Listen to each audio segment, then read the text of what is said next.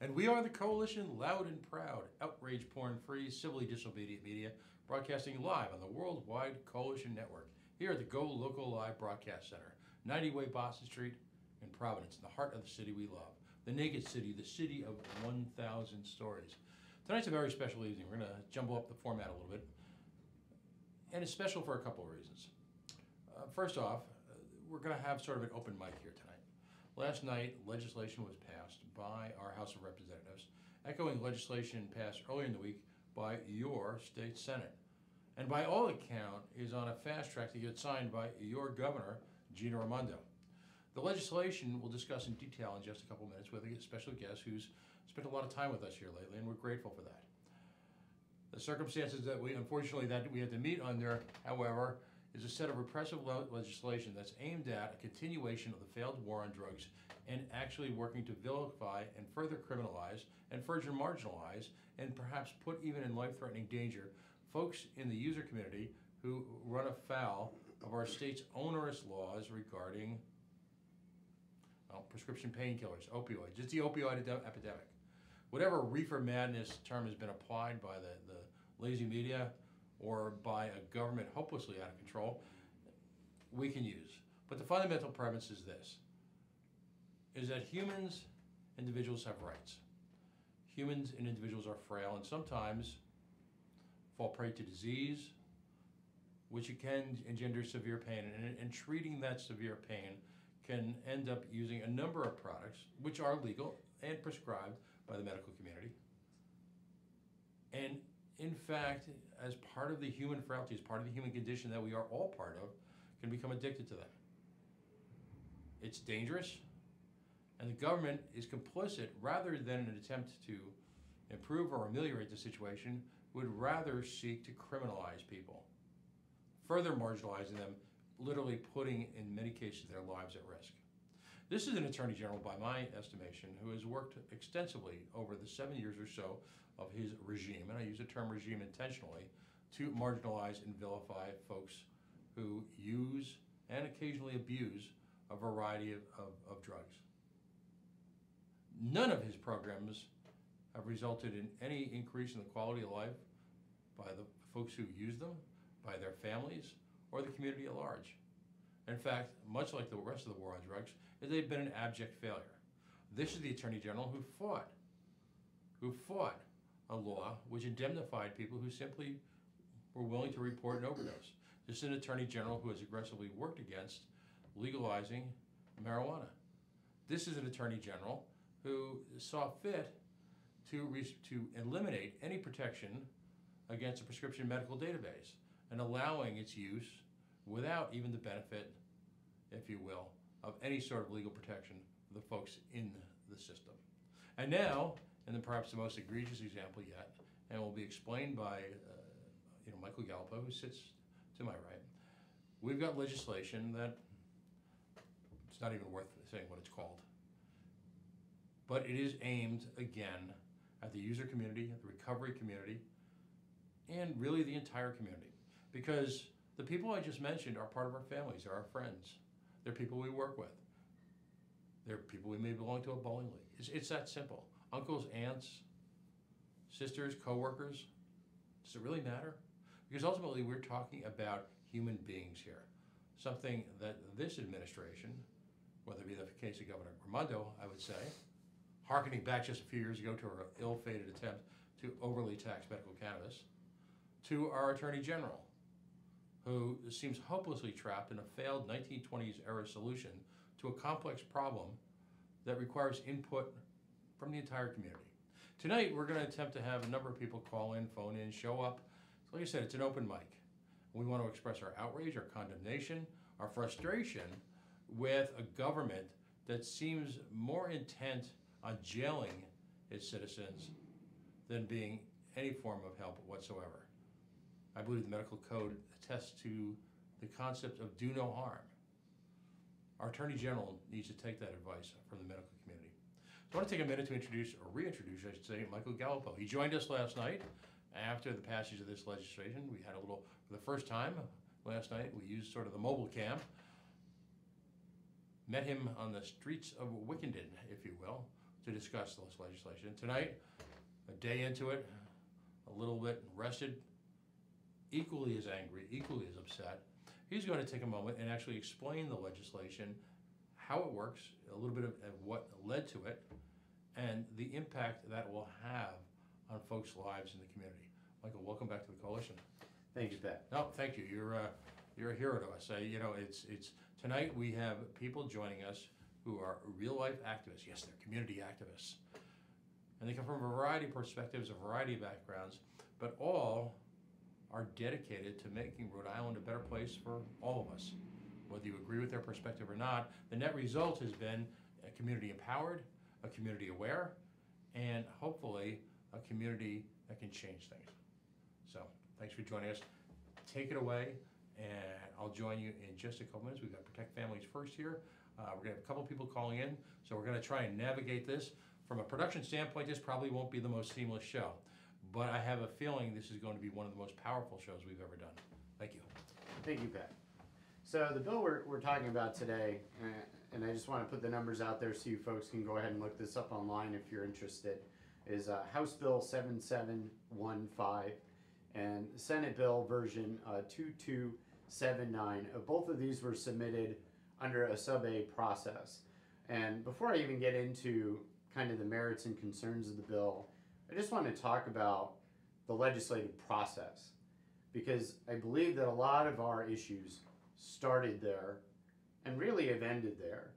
Um, a big part of the, the process that has been very problematic um, for folks in the public health community, which have been extremely proactive in trying to respond and try to do some effective lobbying and reaching the lawmakers with the, the necessary information, was a, hearing process where this bill was introduced and it went to the Judiciary Committee. Uh, we had an extremely good turnout with the Judiciary Committee. Some concerns were expressed that were very valid, you know, backed by research, backed by, you know, decades of experience and study. And so the law was held for further study, at which time a few weeks had gone by and we caught wind very suddenly that a, a sub A version of the bill had been submitted and nobody had an opportunity to actually review the language of this bill uh, until the day of the revisitation of the bill by the Judiciary Committee, at which time the Judiciary Committee voted to, to move the bill forward to the floor, but with no further opportunity for debate or um, feedback or consideration for the changes that have been made to the bill. And now, this process has been criticized um, at, at some great extent uh, in other legislative efforts um, that we have found that this process where a bill can be introduced, it can be argued, and then a, a sub A, a subsequent version of that bill could then be introduced with, you know, very little necessary relevance to the original version of the bill and with absolutely no opportunity for uh, further revision or public comment um, without going through extensive lobbying with legislators and having to navigate the existing power dynamics with the hope that potentially some of those power dynamics may have sufficient political will or motivation based on the evidence as presented to reconcile or further amend the bill as it's passing through the floor on the legislator. So, unfortunately, what happened was a sub A version of the bill was submitted that very minimally addressed some of the concerns, but certainly not the most significant of the concerns by the public health community. An example of that. So the original bill uh, had amended the language for the drug induced homicide law to expand an existing law under the felony murder statute, which would allow for folks who were found responsible for selling, distributing, or transmitting, and it would mean convicted of selling, distributing, or transmitting a drug uh, to a minor specifically, where that minor died as a result of that person's conduct. So initially, the bill had sought to just simply strike the word minor. It was a very minor adaptation of, of the existing language to then attempt to insert um, to that of a human being instead of that of a minor. Uh, and so it would just kind of broadly attribute this causality in the event of an untimely demise from a controlled substance, transferring possession. They struck the word convicted of and just made it for if this person was purported to have, you know, sailed or distributed or delivered. Um, and so that was what the original version looked like, and we had extensive concerns with that. Those were raised in, in an extremely lengthy, the, the last time that, that we actually came forward on this, there was about 90 solid minutes of testimony from various experts in the public health recovery and uh, activism community that were very interested in making sure that these concerns were recognized and that the merits of the bill did not outweigh the concerns in any fashion. Uh, we felt that there was significant work to be done, if at all, a version of the bill could be presented that would be reasonably acceptable. There was a little variation of opinion on that. We had some folks that felt very strongly that some form of uh, collaboration was the necessary approach, and so really seeking to kind of mitigate the harm of the bill. And other folks that work with organizations like my own really felt that, you know, in, in obligation to the population I serve, um, there's absolutely no way that our organization could stand behind a bill that would do what this bill would do. And now I'll get into what that is. So the sub A version of the bill that came back included some additional language, which was additionally problematic. So the first set of that language was that this law would cover any exchange of anything of value to an adult. And that is extremely broad in terms of language, let alone legal language. Um, it becomes very difficult to quantify exactly what that means. Now, mind you, in the substance community, drugs themselves have monetary value inherently because they cost money to acquire. And so substances will very oftentimes be used as alternative currency, both between users to users, between people who may have some a little bit more privilege and thereby have a little bit more market share and and so it becomes another form of currency. So essentially anybody who's participating in the substance use community market uh, is going to be participatory in this kind of activity. It's it's inherent. So the the law doesn't limit the people that it can be used to target by using that kind of language. It did absolutely nothing to address those concerns. So then additionally, what they did was there was a sentence of now up to life. And as we know in our, you know, criminal justice system and decades of research on, you know, sentencing guidelines and the way that uh, judicial discretion plays out in the courtroom and how the outcomes are very much divided along racial and class lines. And the same is true for our arrest data.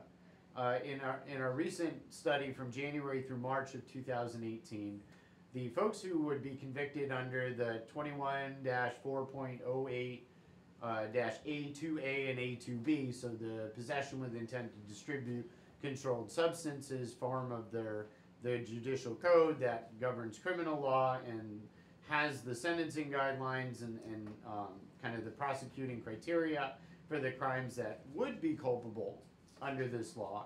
Uh, in this data study, we, we were able to show that 94% of the people who were arrested for this kind of crime were exclusively from the most poorest communities in the state of Rhode Island. Additionally, that folks who identified as both black and Hispanic were arrested at 12 and a third times their presence in the community. So this is Providence residence data correlated to Providence arrests, nothing further. Same thing when we talk about black alone and Hispanic alone. While Providence is a very diverse community, those numbers are significantly higher than in other parts of the state. Folks from those communities were still being arrested at two and a half times their represent, representation in the community. And so the way that this law would be used and the way the people that it targets um, are mostly folks and overwhelmingly folks from poor communities of color. And those are the people that wind up bearing the burden of this kind of legislation. Additionally, the sentencing guidelines usually have a heavier impact on the underprivileged. Uh, public defenders do not have the resources that private attorneys do to be able to pursue additional action and look at other ways to to move through a, a potentially a defense process um, to prepare people for trial, and so it's very very difficult for uh, folks who are in the underprivileged class to be able to walk away from these occurrences uh, with a reasonable outcome. Uh, the other thing that it does is it significantly advances the sentencing benchmarks, which is a drastic departure from the uh, the existing um, act that we have that commits us. This is the Justice Reinvestment Act commits us to maintaining the existing uh, sentencing benchmarks that are out there. In fact, even at the federal level, the life sentence benchmark that's out there re- has language that requires prior conviction and persistent offender written into their language of the federal sentencing guidelines. And they only govern trafficking activities that are above a certain level where products are crossing state lines. And so, kind of counterintuitively, what the Attorney General was saying that they were hoping to accomplish with this law actually shows quite clearly that it's not even within their jurisdiction to be able to do. What I mean by that is what I say um, the presence of fentanyl and what they were going after were going after these distributors of fentanyl, the manufacturers that are inserting fentanyl into our supply, that they could not do because the second that those supplies are crossing state lines, it is now exclusively in the jurisdiction of the federal government. So, what this does do is it does increase criminalization drastically for folks at the street level and for poor communities of color. And it creates a significantly increased cost burden for all of the residents of the state of Rhode Island. These are resources that we sorely need for all different kinds of programming that we know works against addiction in our communities. Right? So, addressing childhood trauma and providing supportive services, being able to provide treatment on demand so when people are ready to enter recovery, they can access the necessary supports and resources to do that. Affordable housing, living wage jobs, right? And so the list goes on and on and on. We're not prioritizing our very scarce resources to do these things when we are making very long term permanent commitments to increasing criminalization. So, in just a very short, easy to grab onto phrase, what this law does is simple it fills our prisons with a sense of permanence and it furthers the prison industrial complex that we have here in the state of Rhode Island. And we frankly cannot afford to do this. The other thing that it does that is significant is that it will increase the amount of fear that exists within communities of use across the state. And so, as much as we really would like, and we have worked hard to get people to utilize the Good Samaritan law and to contact 911 in the event of an emergency and to carry naloxone with them and use with a friend, the fear that that friend or somebody else who's close to them, potentially a distributor, a partner, somebody who's within their community that they have a deep interpersonal relationship with, could potentially go to prison for life, would cause those people to say, I'm not comfortable with you saving my life if it means that somebody else's life will be lost as a result. And that is an unfair level of decision making that we ask people who are extremely vulnerable to make when our priority here is to save lives. So, what the law doesn't do is it doesn't do that. It doesn't save lives.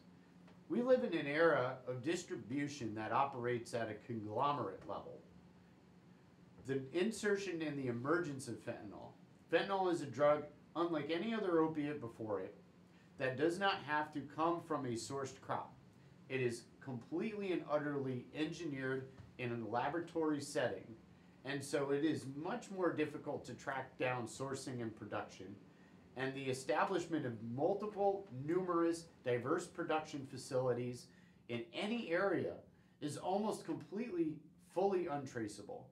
We also have the existence of a black market exchange through our internet that people can utilize to access illicit substances virtually anywhere in the country at a moment's notice, where the actors change day to day, hour to hour, minute to minute, and the amount of resources that it takes for us to investigate these people, for us to track down these people, for us to bust these pop up labs, and then litigate people, bring them through prosecution, pay for them to sit in prison for life. We just frankly can't afford to do this to an immeasurable amount of people. It's just not sensible. So, the real question at the root of this is why do people buy these drugs if they're dangerous? And the answer is simple because there is a demand. And we have failed as a society to find a sensible and reasonable way to meet that demand in a way that we know can keep people safe.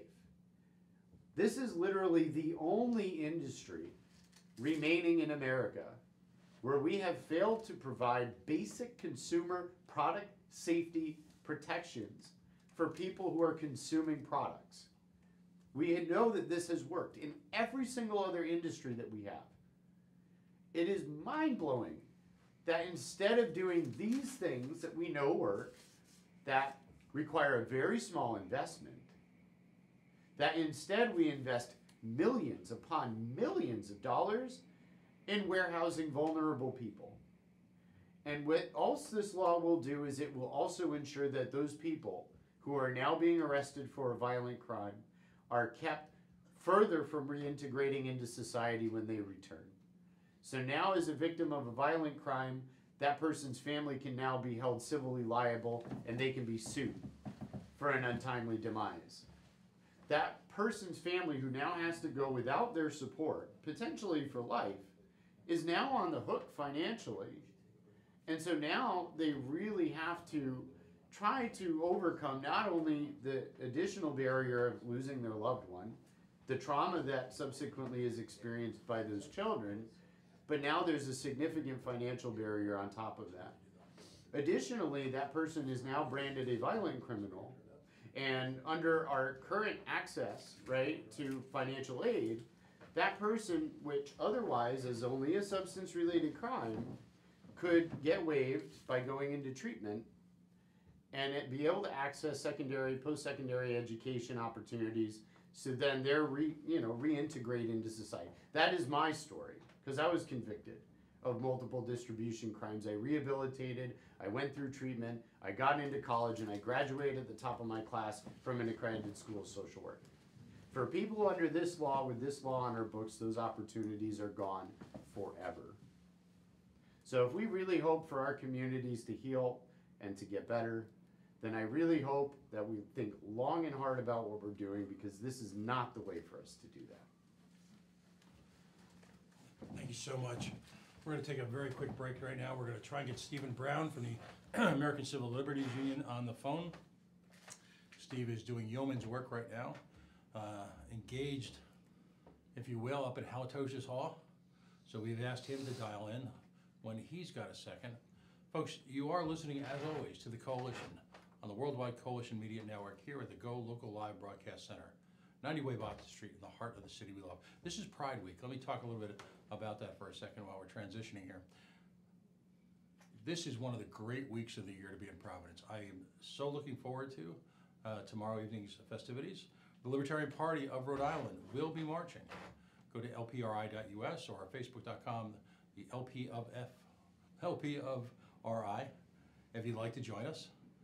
It's sort of a, we're taking sort of a New Orleans approach in honor of our national convention in a couple weeks in New Orleans. A, uh, a New Orleans parade. People just sort of join in as they go along and celebrate life. And that's what the community is doing this weekend. You know, for the first time last night, we did a little bit of broadcasting from the streets of Providence, something I want to do often. We interviewed Ashley Delgado, is the uh, Grand Marshal of the parade, and we introduced and interviewed folks who are involved with the Pride organizing efforts from their organizing meeting in downtown Providence last night. We're going to do some of that tomorrow as well, interviews on the streets. You'll see pop up from time to time on Facebook. Give an opportunity, all you have to do is click and listen live, and we're going to bring some of the most interesting thought leaders in Providence to you during the day, at times from testimony, at times from just chance encounters. It's all about communicating and bringing the community together. That is the point of the coalition. So we're going to take a very quick break now. Let me list over the websites. Coalitionradio.us is the mothership. These and all other shows live in perpetuity at the Coalition Radio. Facebook.com slash The Coalition Radio, where you'll see ongoing lists of events. Our Muddy Muddy Twitter account at Coalition underscore radio. And of course, at Pawtucket is Home, our all apolitical billionaire baseball boys club Twitter feed. I guess they're coming back out of the bathtub again next week. Rumors are abounding about all sorts of developments in, in, in up in Worcester. People in Worcester are breathless, breathless, if you will, with the opportunity to give away millions of dollars to billionaires in form of corporate welfare. Stay tuned for this and more as we discuss last night's legislation and we ask you to reach out to Governor Raimondo and say no. Folks, stay tuned. We'll be right back.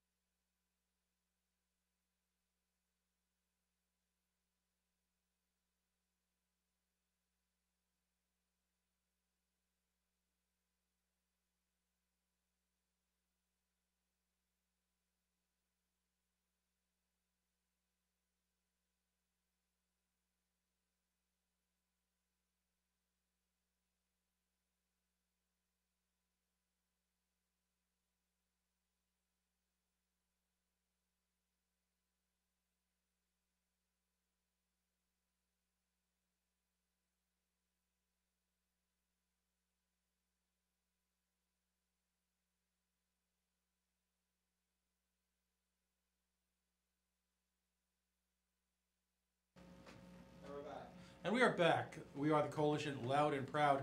Joining us in a rare break this evening is uh, someone that we admire greatly here at the coalition. Of course, I'm talking about Steven Brown from the Rhode Island chapter of the American Civil Liberties Union. Um, Steven, thank you for joining us. I know you're you're slammed, so let's let's get right to it. Legislation was passed last night where if you were to listen to some of the testimony, the the immortal words, if we can get one more drug dealer off the street, that somehow this will be good and we could save one life. Um, you know, Michael Galipeau is here in studio, and he just went through an extensive analysis of the legislation. Uh, you know, when you hear that, one must ask, what could possibly be wrong with that? How noble is that? Steven, from the American Civil Liberties Union perspective, what exactly is wrong with this legislation? Well, there are a lot of things wrong with it, and my guess is Michael uh, has hit a, a, lot of the high spots on it. Mm-hmm. But the, the first thing is it it really is not going to in any way uh, help fully address the opioid crisis. Um, it is much more likely to harm people. Um, it is its goal from the beginning. We've been told is to get drug kingpins, and yet um, when the, when they debated this and voted on it yesterday, the House actually defeated some amendments that were designed to make sure that it did just that. And I think by defeating those amendments, uh, the the motivation behind this became became clear, which is it's not designed to get at drug kingpins. Um, its focus will ultimately be on uh, you know, low-hanging fruit, if I can use that term. Um, you know, people who have uh, drug addictions, um, who um, uh, who are easy to to charge if they happen to be with a friend or a family member um, who tragically dies as a result of drugs that they bought from somewhere, having no idea whatsoever um, that it might be laced with you know fentanyl or, or some other deadly substance. Um, it's not in any way going to get a drug uh, a drug kingpin. Um, it will, uh, I think, uh, create some more fear in in um, the community of users in in not picking up the phone uh, when there's an emergency taking place, uh, because it really, uh, you know, they're really at the mercy of of the police at that point as to whether they will uh, be deemed to qualify under uh, under some of the language in the bill. You know, part of the debate subject uh, centered around the notion that the language was established so that if someone exchanges drugs, that somehow that would give them some type of immunity from prosecution. First of all, how tenuous is that language, and in reality, how does that play out on the streets? Well, it's very tenuous. Um, you know, one of the uh, one of the proposed amendments, which would not in any way have actually made the bill um, good for, uh, it would have made the bill a little better, um, was to make clear that um, it, it, invo- it required profit. Um, that um, you know the person was involved in selling the particular drug involved for profit. You know this idea of of, of dealing with uh, addressing the situation of people who share drugs. I mean that's fine as far as it goes. It just doesn't go very far at all. You have um, you know a drug user you know paying some money to the friend to go purchase the drugs off the street. You have um, you have friends uh, trading other things you know, you can stay here for the night if you, you know, if you give me some drugs. None of these things are covered by that amendment that was uh, that was put into the bill. So there there are a whole range of circumstances where uh, individuals who again are themselves users um, with another user, that language is not going to help uh, protect them from being charged with murder under under this um, under this bill. I had a question, Steve, and just a little bit of follow up. Is there a legal definition for the word sharer? Because that was the first time I've ever seen that word used in a bill. No, uh, I mean, the the bill itself has no uh, definitions at all, and you know it certainly will be ripe for discussion and debate. What you know, what does it mean sharing um, sharing a substance? And I don't have the answer to that. My fear, Steven, is we're, we're creating a, legal climate in this in this country both on a national and a local basis, where folks who, in good faith, are you know on a personal level are involving themselves in a variety of challenge environments. It could be someone who is a sex worker, someone who is uh, utilizing drugs, someone who is you know clearly in the in the gray areas of, of law enforcement.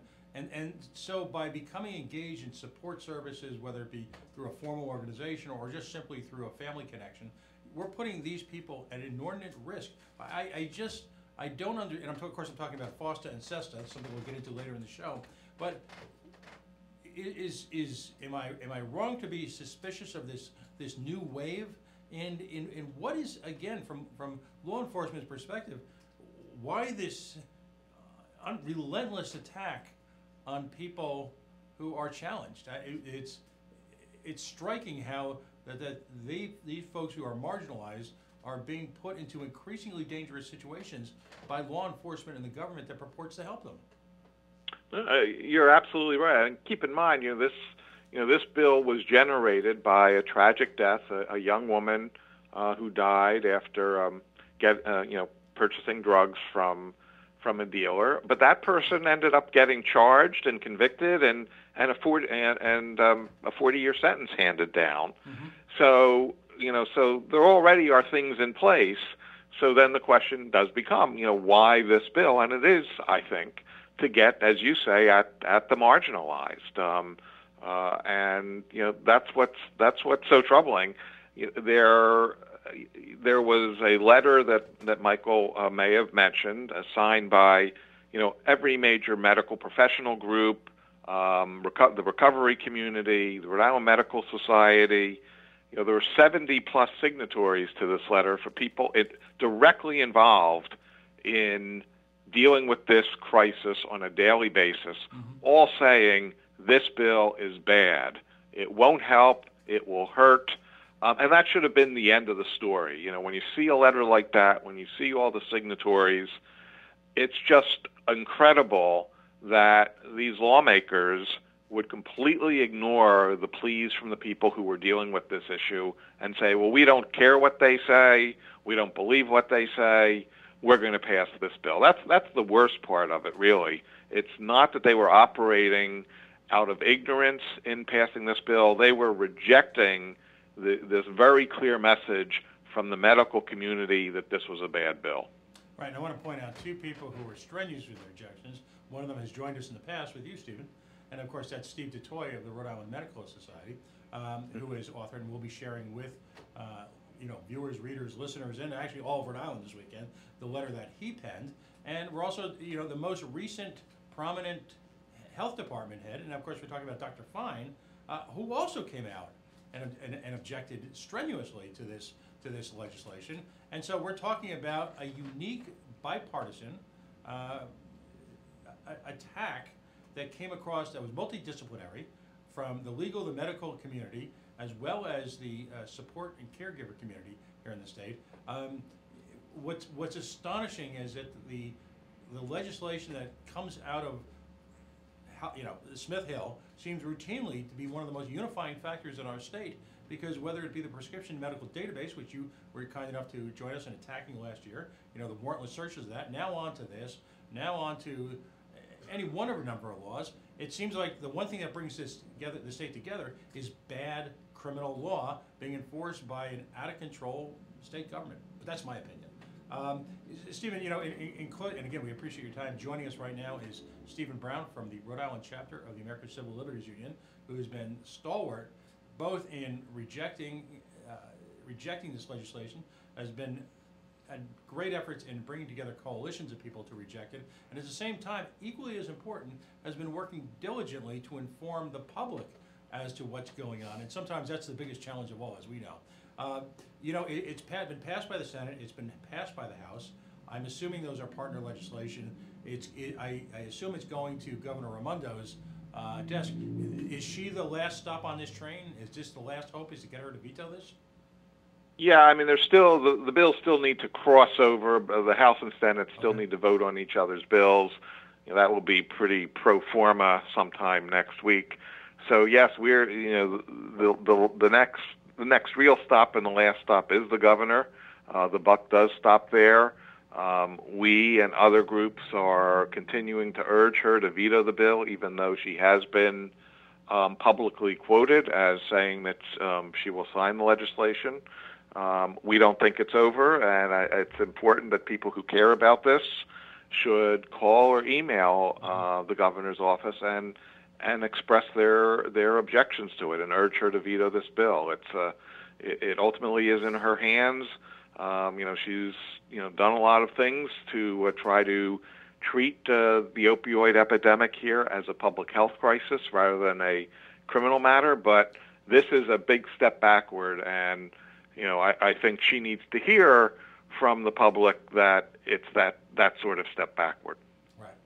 And if these type of efforts are left unchecked, we will continue to lose civil liberties, we will continue to marginalize the challenge, and we will continue to decline really as a society here in Rhode Island. Um, as, as the few protections left against any one of a variety issues crumble before us.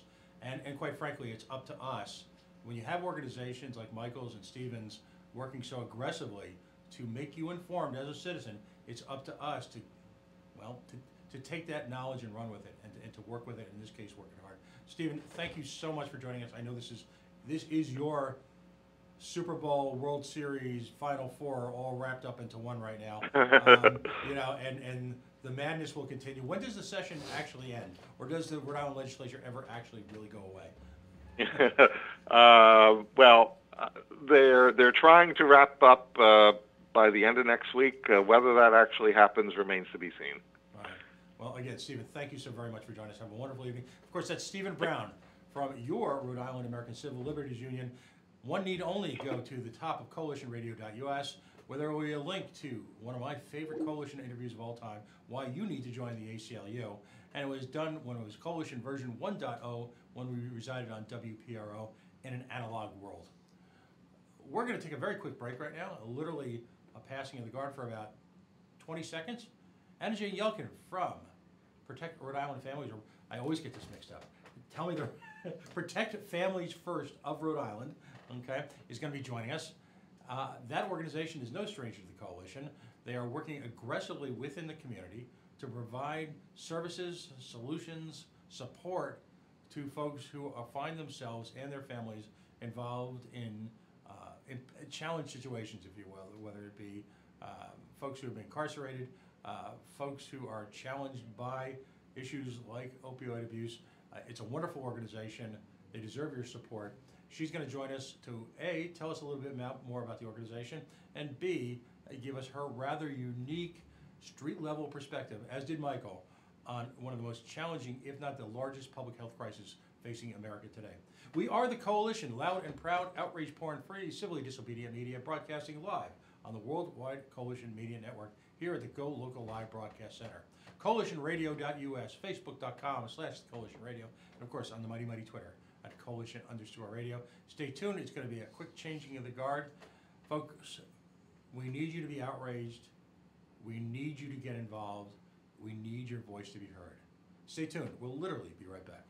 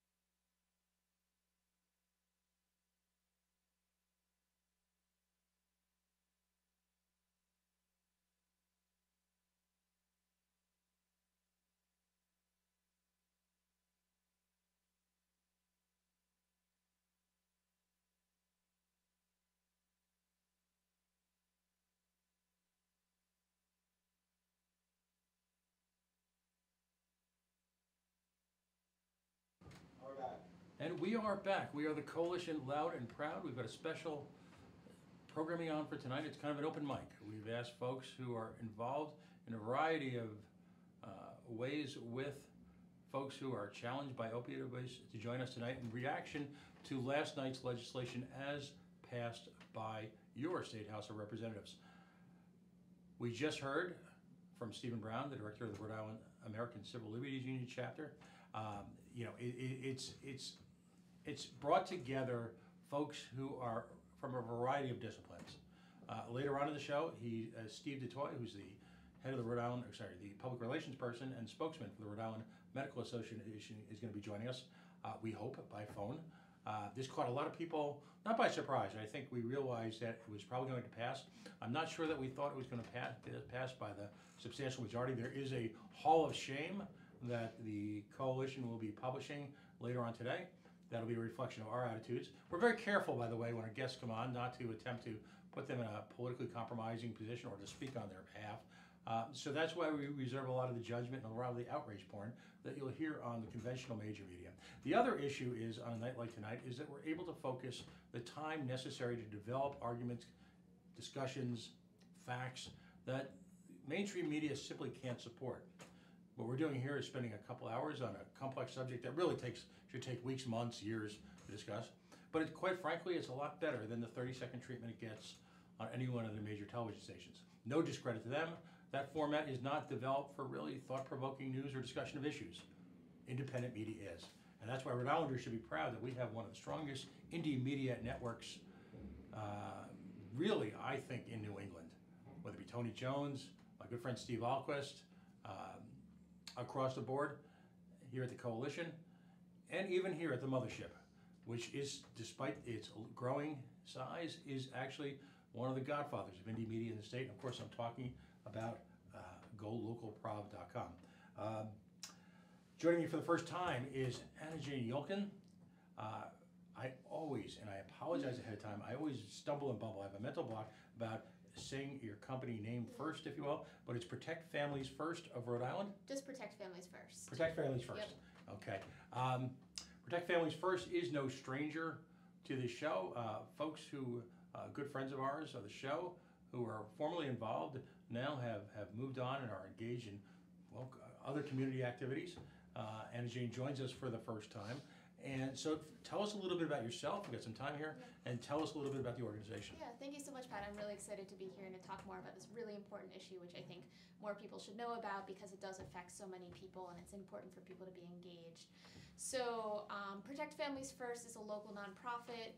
We advocate for drug policies and practices that promote community health and safety, keep families intact, you know, keep people out of prison, right, when they don't need to be in prison, um, and prevent overdose deaths. And we really work at the intersection of public health and criminal justice reform efforts to address um, the opioid epidemic, the overdose epidemic, um, substance abuse in general, but most importantly, to undo our failed drug policies that we have in this country. We have decades of evidence that shows that warehousing people in prison for their substance use does not work.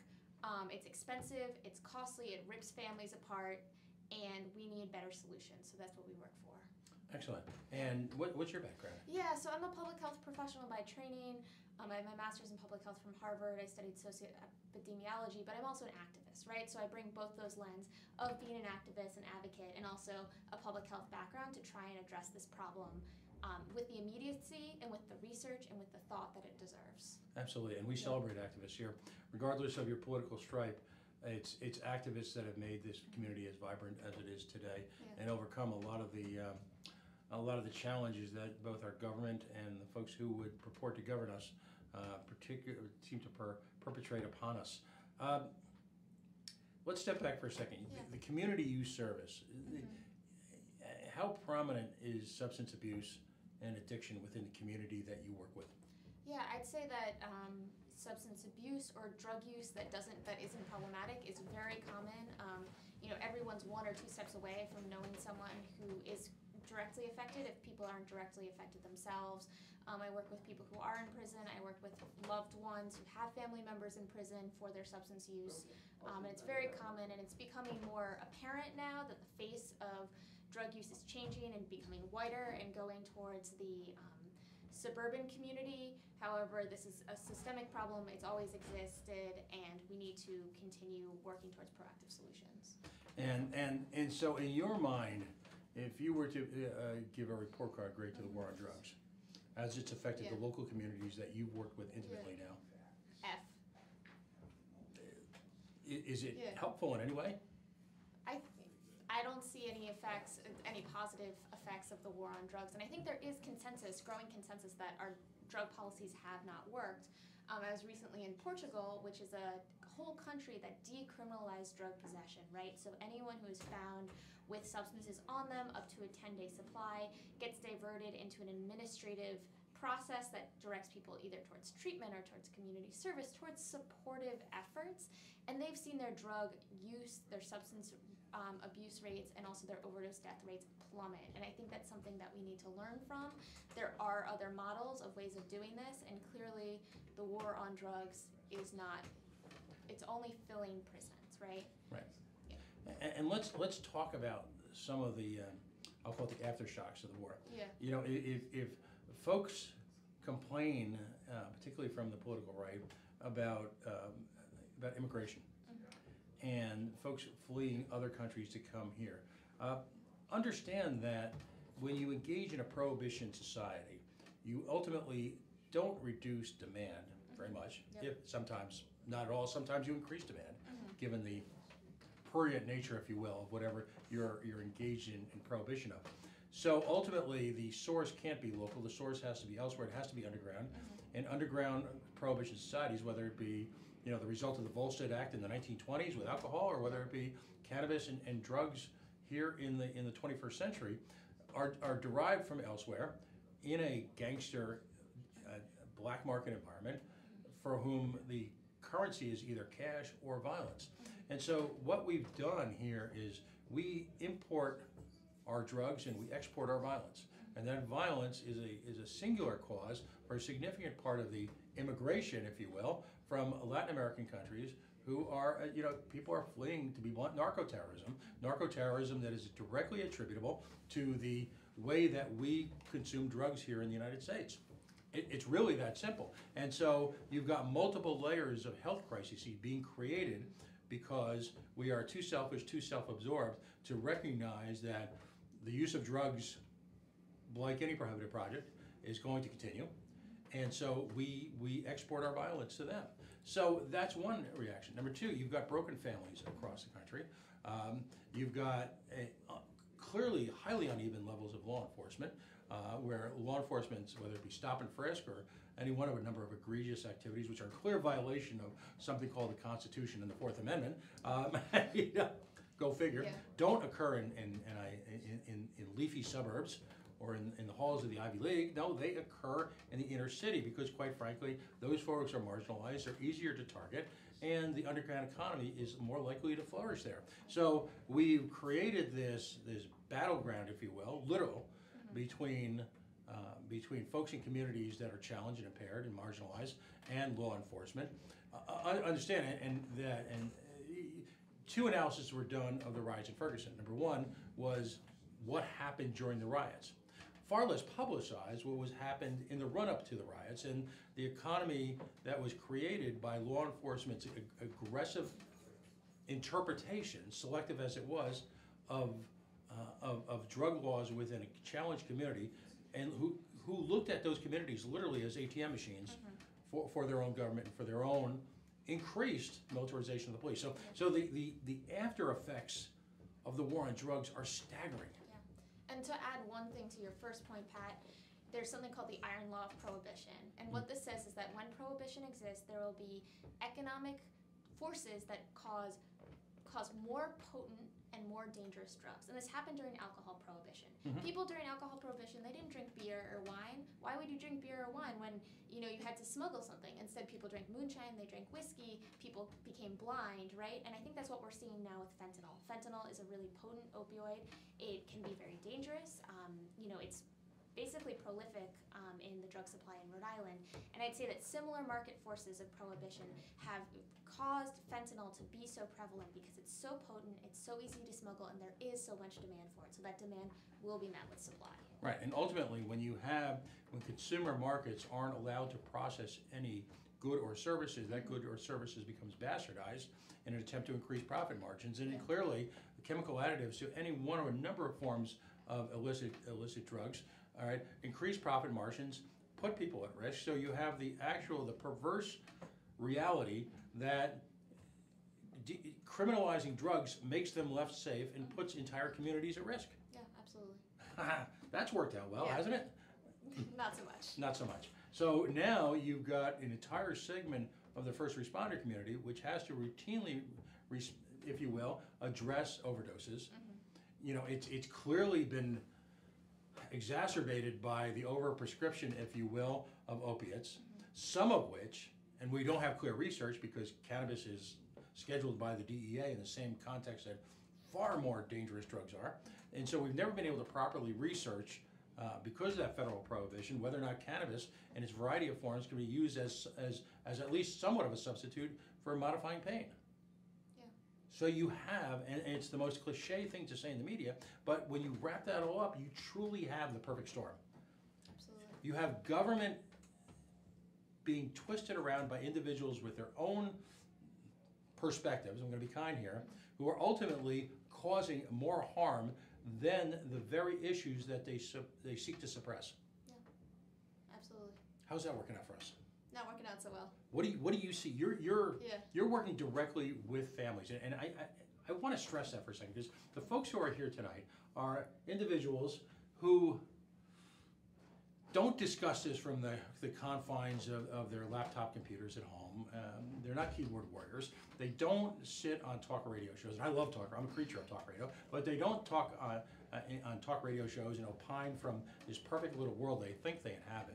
Uh, newsflash to a lot of folks You may think you have a severe autocratic response to folks who, who, who use and abuse drugs, but I will tell you that on statistics, and please correct me if I'm wrong, that a significant number of you have folks in your own family who are using them, and you just don't realize it.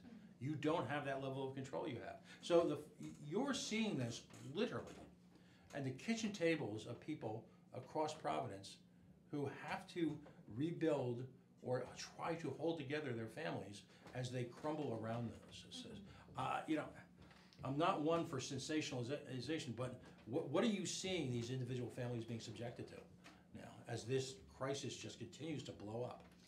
Yeah, I mean, there's still so much stigma, right? There's still s people, there's so much fear of talking about this, and I think we could get somewhere if we talked about this and talked about it honestly, right?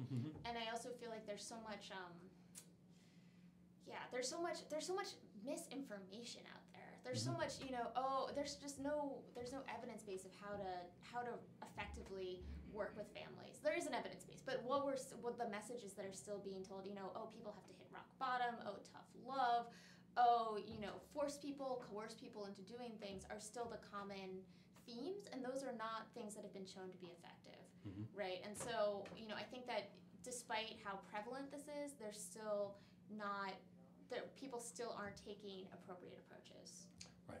And I, and I want to get into that. Yeah. We're going to have this sort of rotating cast. Yeah. Uh, We've got, uh, Paul Jabour just joined us, and I want to get him in for a few minutes Sure. because I know he's getting pulled around. Yeah. But when, it- when we come back to you in a little bit, I want to talk about, rather than just bang away at, at, at- a sense of negativity, and there's, there's, I get a sense of sort of doom and gloom right now in, in a, in a lot of activists because of some of the things that have happened in this session. But I, I also want to stress, from your, your, your professional perspective, as someone who is immersed in the issue on a day-to-day basis, you're not sitting in a library or lab somewhere analyzing statistics. You're immersed in this, but at the same time, you, you have got the credentials professionally that can, can really reflect on what we need to do positively. What, what is it the community has to do after we somehow find a way to get this bill vetoed? Sound like a plan? Sounds like a plan. All right, I'll still talk to you, in a- talk to you in a few minutes. Okay. Um, I'm gonna ask, uh, Mr. Jabour to come in. Thank you so much. Yeah. Folks, we're just gonna, we're not even gonna, we're not even gonna turn off, we're just gonna hang in there for a second. Uh, we've got a special guest who took some time, despite the craziest week of the year for him, and he's gonna join us in just a second.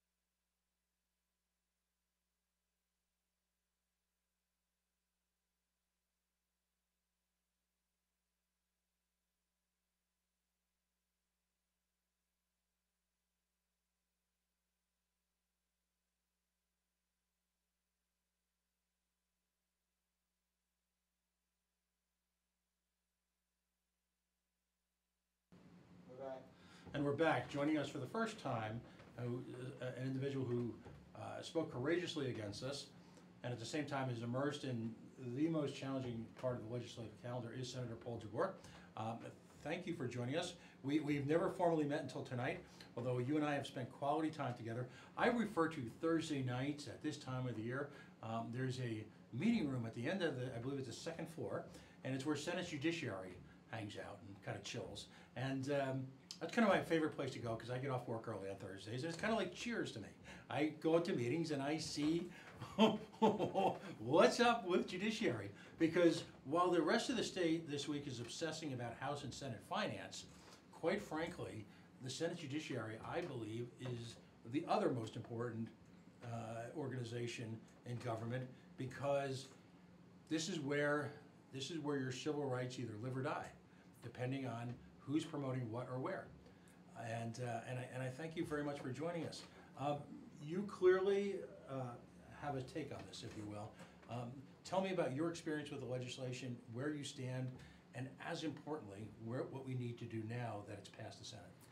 So, as you know, and uh, I do appreciate individuals like you who spend countless hours late in the evening um, at Senate Judiciary Committee. I've been a member of the Senate Judiciary Committee now uh, for 10 years.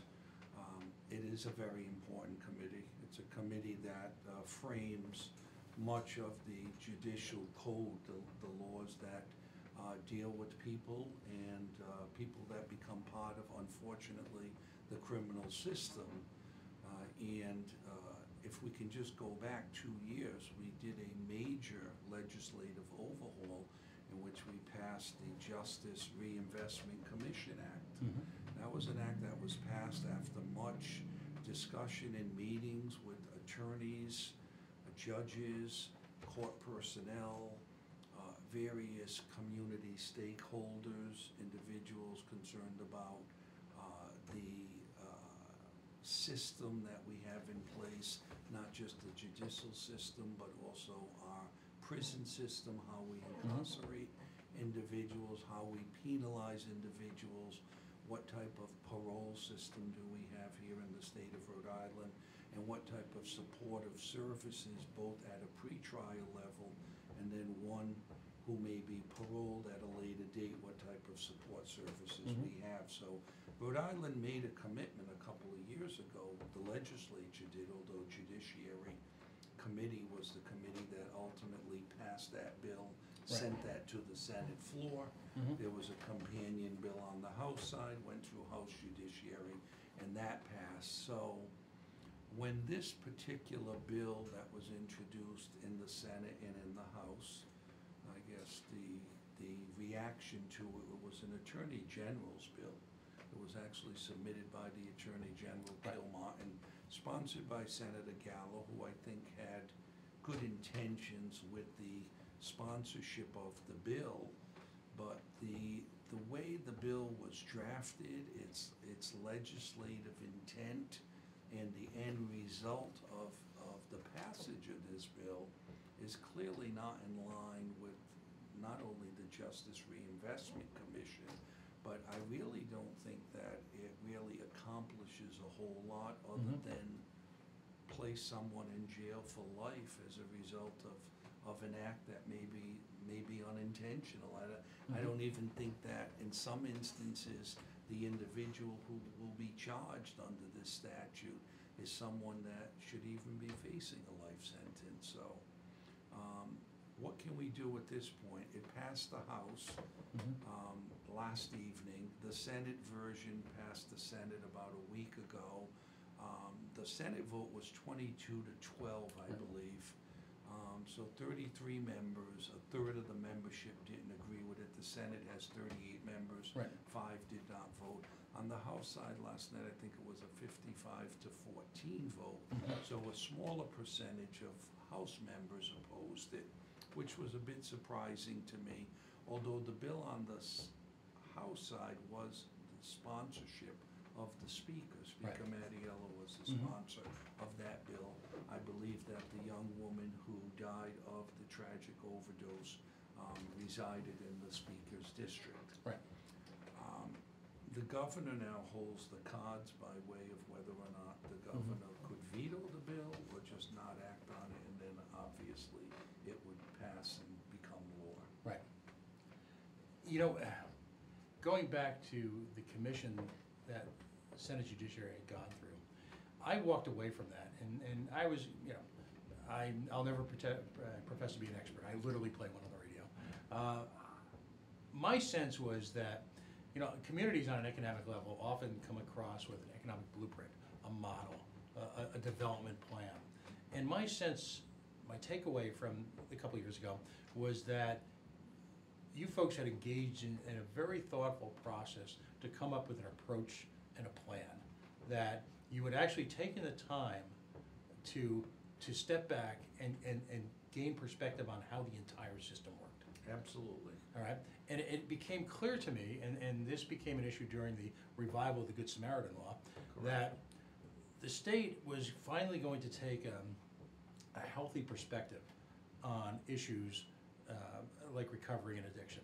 That we'd grown up as a society and we wished to move people away from the embarrassment, the shame, the vilification, and create an environment where people would feel more comfortable coming to terms with themselves and addressing their own personal health issues without fear of becoming entangled in the legal system. Now, You're, you're an attorney, correct? Yes, I am. All right, so, you know, anyone who's ever gotten, and I'll use the term ensnared, and that's unfair in a sense, who's become involved in the legal system on the wrong end, can attest to just how difficult it is to pull yourself back out of that. And to see issues like addiction and, and, and recovery become the slope by which you fall back into that system.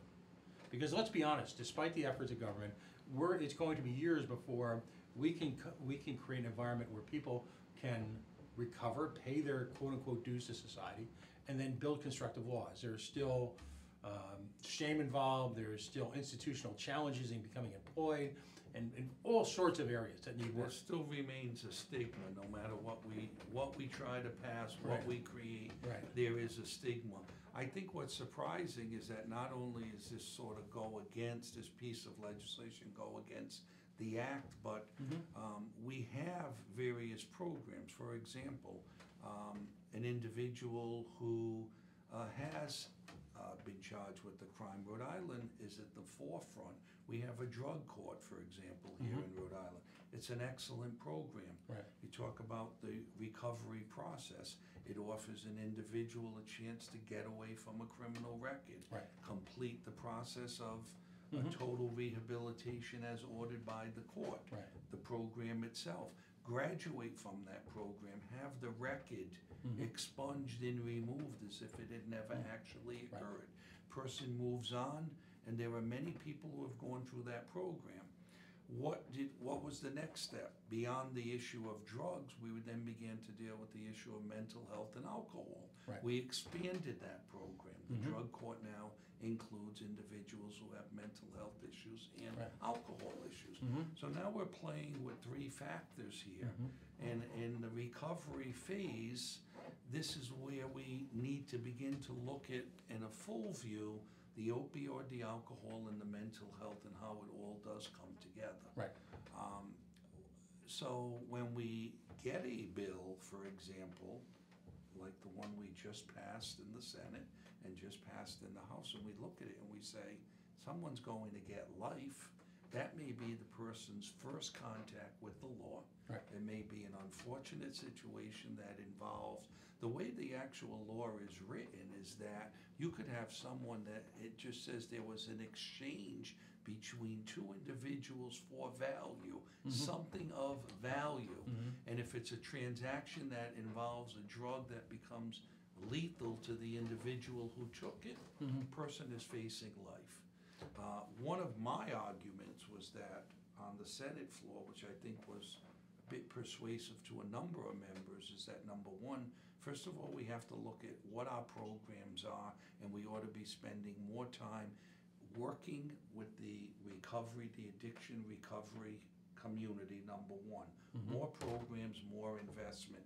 In fact, there was a, an article that was written and sent to the legislators by Dr. Fine, who was a former director of health here in the, in the state. And Dr. Fine laid out a very sound argument, which part of my argument included that, that these are some of the issues that we should deal with. Um, the other issue, I think, is that when we look at what the penalty is here, and we're talking about putting somebody away for life, question becomes, what are we really accomplishing with such a, a, a- harsh sentence? Mm-hmm. And I don't think we accomplish anything to that individual. Who, who would be a low-level drug dealer? Maybe someone who for the first time was involved in the sale of a drug. And the way the statute is written, it may not even be the traditional drug deal that, that law enforcement may, may portray to a court in a Right. criminal complaint.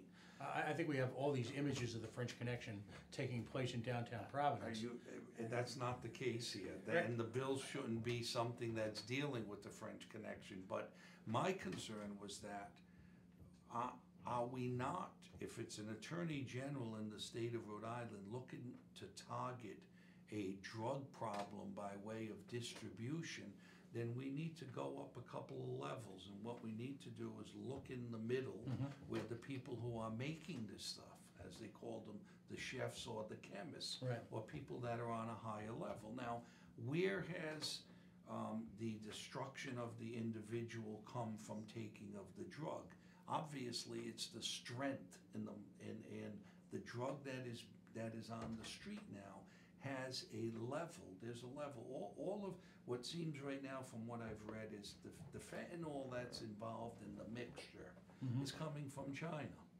That, that's, that's where it appears to be. Some of the government reports, some of this stuff comes from China. Mm-hmm. Some of the dosages are giving to, I'll give you an example, uh, an elephant or a horse for certain types of medical treatment. And A, a human being taking what a horse or an animal would mm-hmm. ingest, you're lucky if you'll survive ten minutes after ingesting that. Mm-hmm. The people who are making this stuff in the labs, who are working in the middle or the upper tier, the low level, I'll use the term mule, they have no idea what the composition is of mm-hmm. that drug that's being given, even if it's an innocent transaction to a friend. And, and how many times, uh, I'll call it our, and, and this is the frustration, the system creates what I call survival drug sales, just like the system creates survival sex sales. And in survival drug sales, you've got folks looking to feed their habit by profiting at the very bottom of the food chain. Absolutely. All right, in order to skim off their own supply. And, and if we could take a, a moment to remark on human frailty, it's almost cliche, but so many opioid addicts are literally a bad car wreck or a broken leg or some type of, or, or God forbid, a terminal illness in terms of chronic or an end, late stage cancer from becoming opioid addicts. This is not, you know, nefarious members of the underworld. This is not opium dens from the 18th century. These are ordinary Rhode Islanders who, whether it be in, in debates, can argue about whether it happens to be their body chemistry or whatever, are reacting to a legally sold product. And, and, and one of the issues here is as this bill began, as it began through the legislative process, you had testimony at the committee. Um, you heard from what I would use the term all stakeholders in this type. Right. What disappointed me was the lack of interaction, communication, and a willingness to put all the parties at the table and come up with a piece of legislation that all sides could live with, and a fair piece of legislation. Right. Um, you know, you, when you look at a bill like this and addressing what you would be talking about, um, you talk about cancer patients, for example. You talk about uh, compassion counselors who would deal with individuals who are suffering from the type of condition that they're yearning for some type of pain medication Desperate for um, desperate for it. And the, so what you see here is you take a combination of that. You take the enactment of the Good Samaritan Act. Mm-hmm. You now look at how that plays into the passage of this law. You're gonna have some situations where there are gonna be people that are laying out on the street, have taken one of the most severe form of, of, of narcotics that, that's out on the street. There's not gonna be anybody that's gonna wanna help them Right. and they're gonna run. And, and, you know, the, the old argument that somebody shows up or an officer, and there's a, there, there's the Narcan, you're not gonna wanna give somebody Narcan after they've had that type of ingestion of that powerful, because at that point, even if you save them, they may be suffering from other body functions that have become totally deteriorated mm-hmm. by, by the ingestion of that very strong narcotic that they've been sold. So this bill uh, is a disappointment in a way to how, and usually the legislative process evolves. Right. One, we generally are cognizant, as you said, of what our mission is in the court system, in the recovery community, and how we bring people together to come up with a piece of legislation that everyone can live with.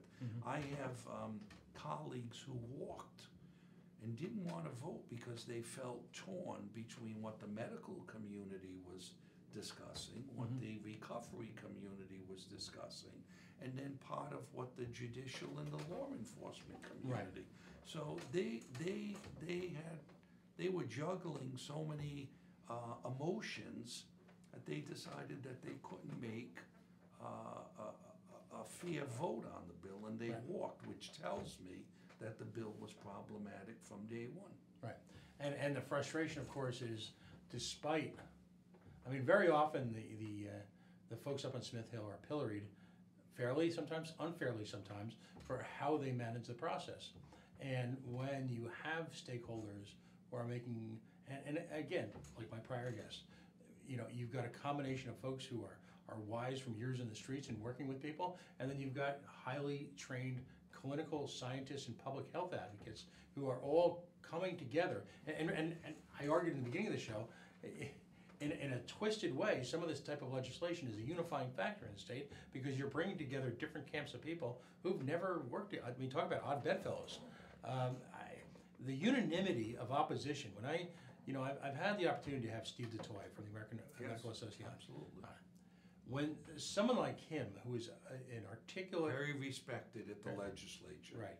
A very reasonable uh, gentleman who, who steps back and really takes a broad and long view towards issues like this.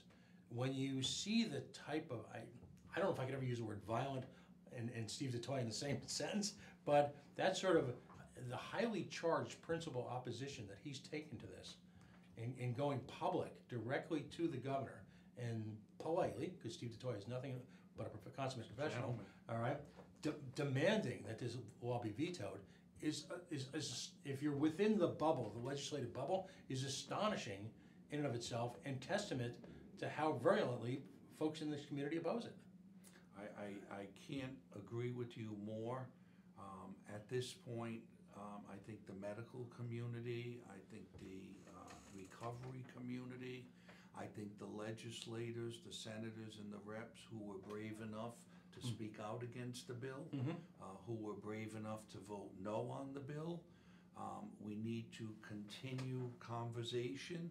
Um, this is the type of issue that, um, no matter how hard we work at it, we may never conquer it, but we have to keep fighting it with practical and reasonable approaches. This is not a practical and reasonable, reasonable approach to the problem.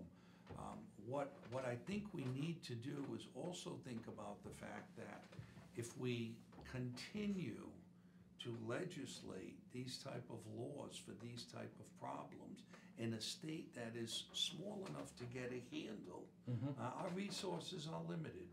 Uh, we are always fighting budgetary issues and mm-hmm. trying to figure out where we're going to fund, where we will obtain the monies.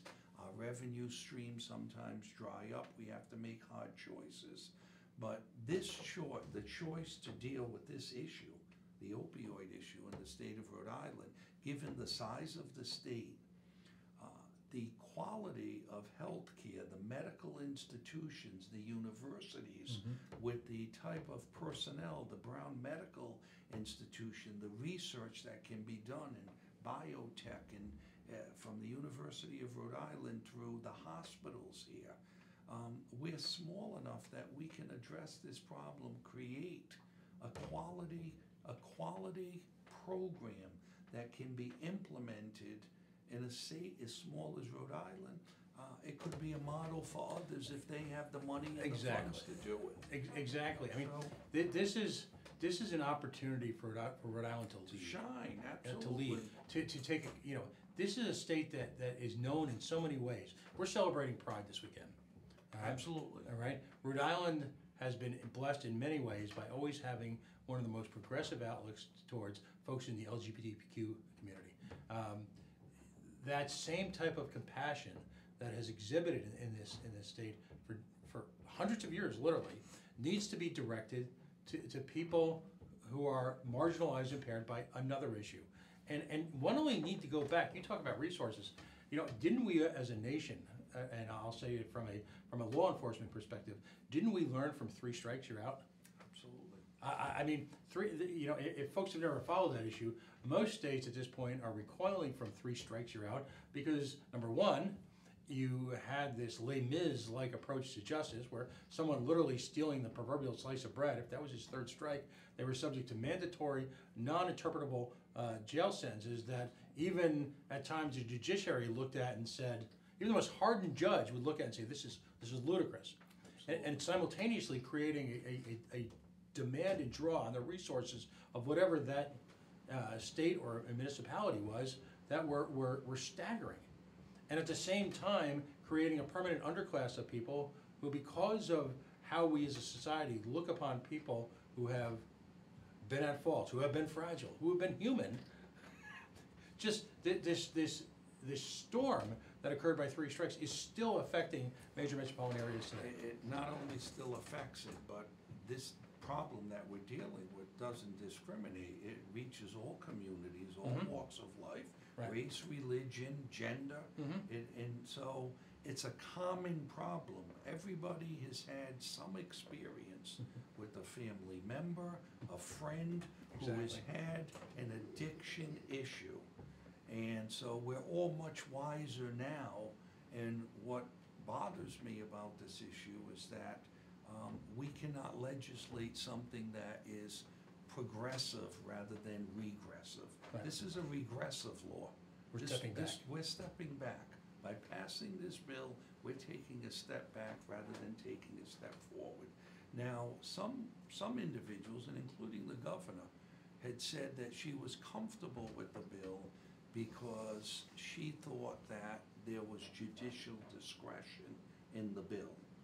And my response to that is that while judicial discretion is something that we can hold out as hope, um, every person who goes through that court system Mhm. doesn't always get the type of representation Right. or quality of That's for sure. counsel Mhm. that can influence a judge Right. to utilize the judicial discretion favorable to that defendant Mhm. in the case. And I say that as a practicing attorney. Oh, absolutely. I, I, I, So that, that's, that argument is not, that's a flawful argument. That argument should not hold water or be a reason why one should believe that the, the way the bill is crafted and that judicial discretion is a, uh, safety net Mhm. uh, to the passage of that legislation. In fact, there probably would be a number of judges that would look at that legislation and be very uncomfortable imposing the penal portion of that statute. Exactly. Uh, we already, for example, have a law on the books. If you look at a drug transaction and someone were to uh, die as a result, well, there, there is a statute on the first degree murder with drugs, and it's a forty-year sentence. Mhm. In fact, most of these cases end up being in a plea bargain situation where someone would plead out and they would get a sentence. Mhm. I think, in fact, the individual got forty years that was involved in Right. Kristen's law to begin with. Mhm. So if you had a life situation, the, the scary part of it is that if someone got life, they're, uh, they're eligible under the Rhode Island parole system, under there for twenty, the- after twenty years, they come before the board. The fear, I think, of imposing a life sentence against an individual is that they won't get the parole after the twenty years, and they'll be there a lot longer. Mhm. Somebody who may receive, i.e. in the case of Kristen's law, the situation involving the young lady, which was a very unfortunate and sad and tragic. Um, that forty-year sentence, that person could very well be out before twenty years. Mhm. May very well, with good time and, and programs within the prison and, um, utilizing the Justice Reinvestment Commission. An individual who had a forty-year sentence might very well be out after twenty years. Right. So the question really becomes, what does this law really accomplish? And, you know, I voted against it because I don't think it accomplishes a whole lot. Right. And it, as I said, it regresses us rather than progresses us. Right, in, in, in the year two thousand eighteen, we should be looking to move forward. And, you know, utilize, you know, again, we're, as you pointed out, we were blessed in so many ways. Um, sometimes Rhode Islanders, in our, me first among them, being hardened cynics, we complain about this, we complain about that. We've got the finest universities on, in, in literally the planet. We've got some of the finest healthcare, in the world, all surrounding us, and we've got thought leaders in place that should be able to look beyond this, and it's, and it's disappointing when something like this somehow manages to occur. And it's occurred a few times, and, and I, think as a community, in moments like this, and, and maybe some good comes out of it, if we can A, get rid of each other's, and, un, and, and, and get a broader understanding, maybe in, in, in some way, without re, re, rebuilding the entire commission, maybe folks need to be reminded of the process that people went through so exhaustively just a few short years ago, and, and have a periodic revisiting of what our goals of a, of a penal system, what our goals, what we see as true justice, and, and, and, and, and reestablish that in people's mind.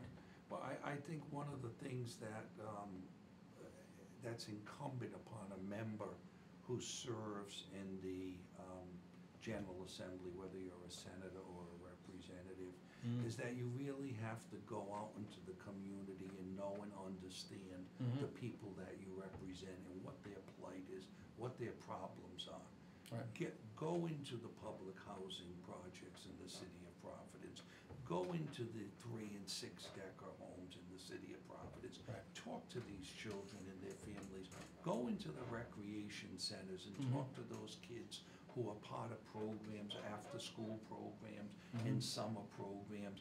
Find out um, what people are thinking.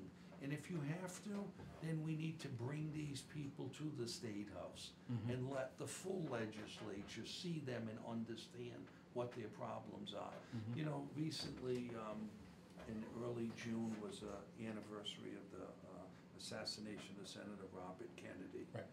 And one of the views of Senator Kennedy was that we don't know what kind of world we might have had if Robert Kennedy wasn't assassinated Mhm. and became president. But one of the things that Robert Kennedy did when he ran for president before he was assassinated is he went deep into the rural part of America. He went into different parts of West Virginia and deep in the south Right.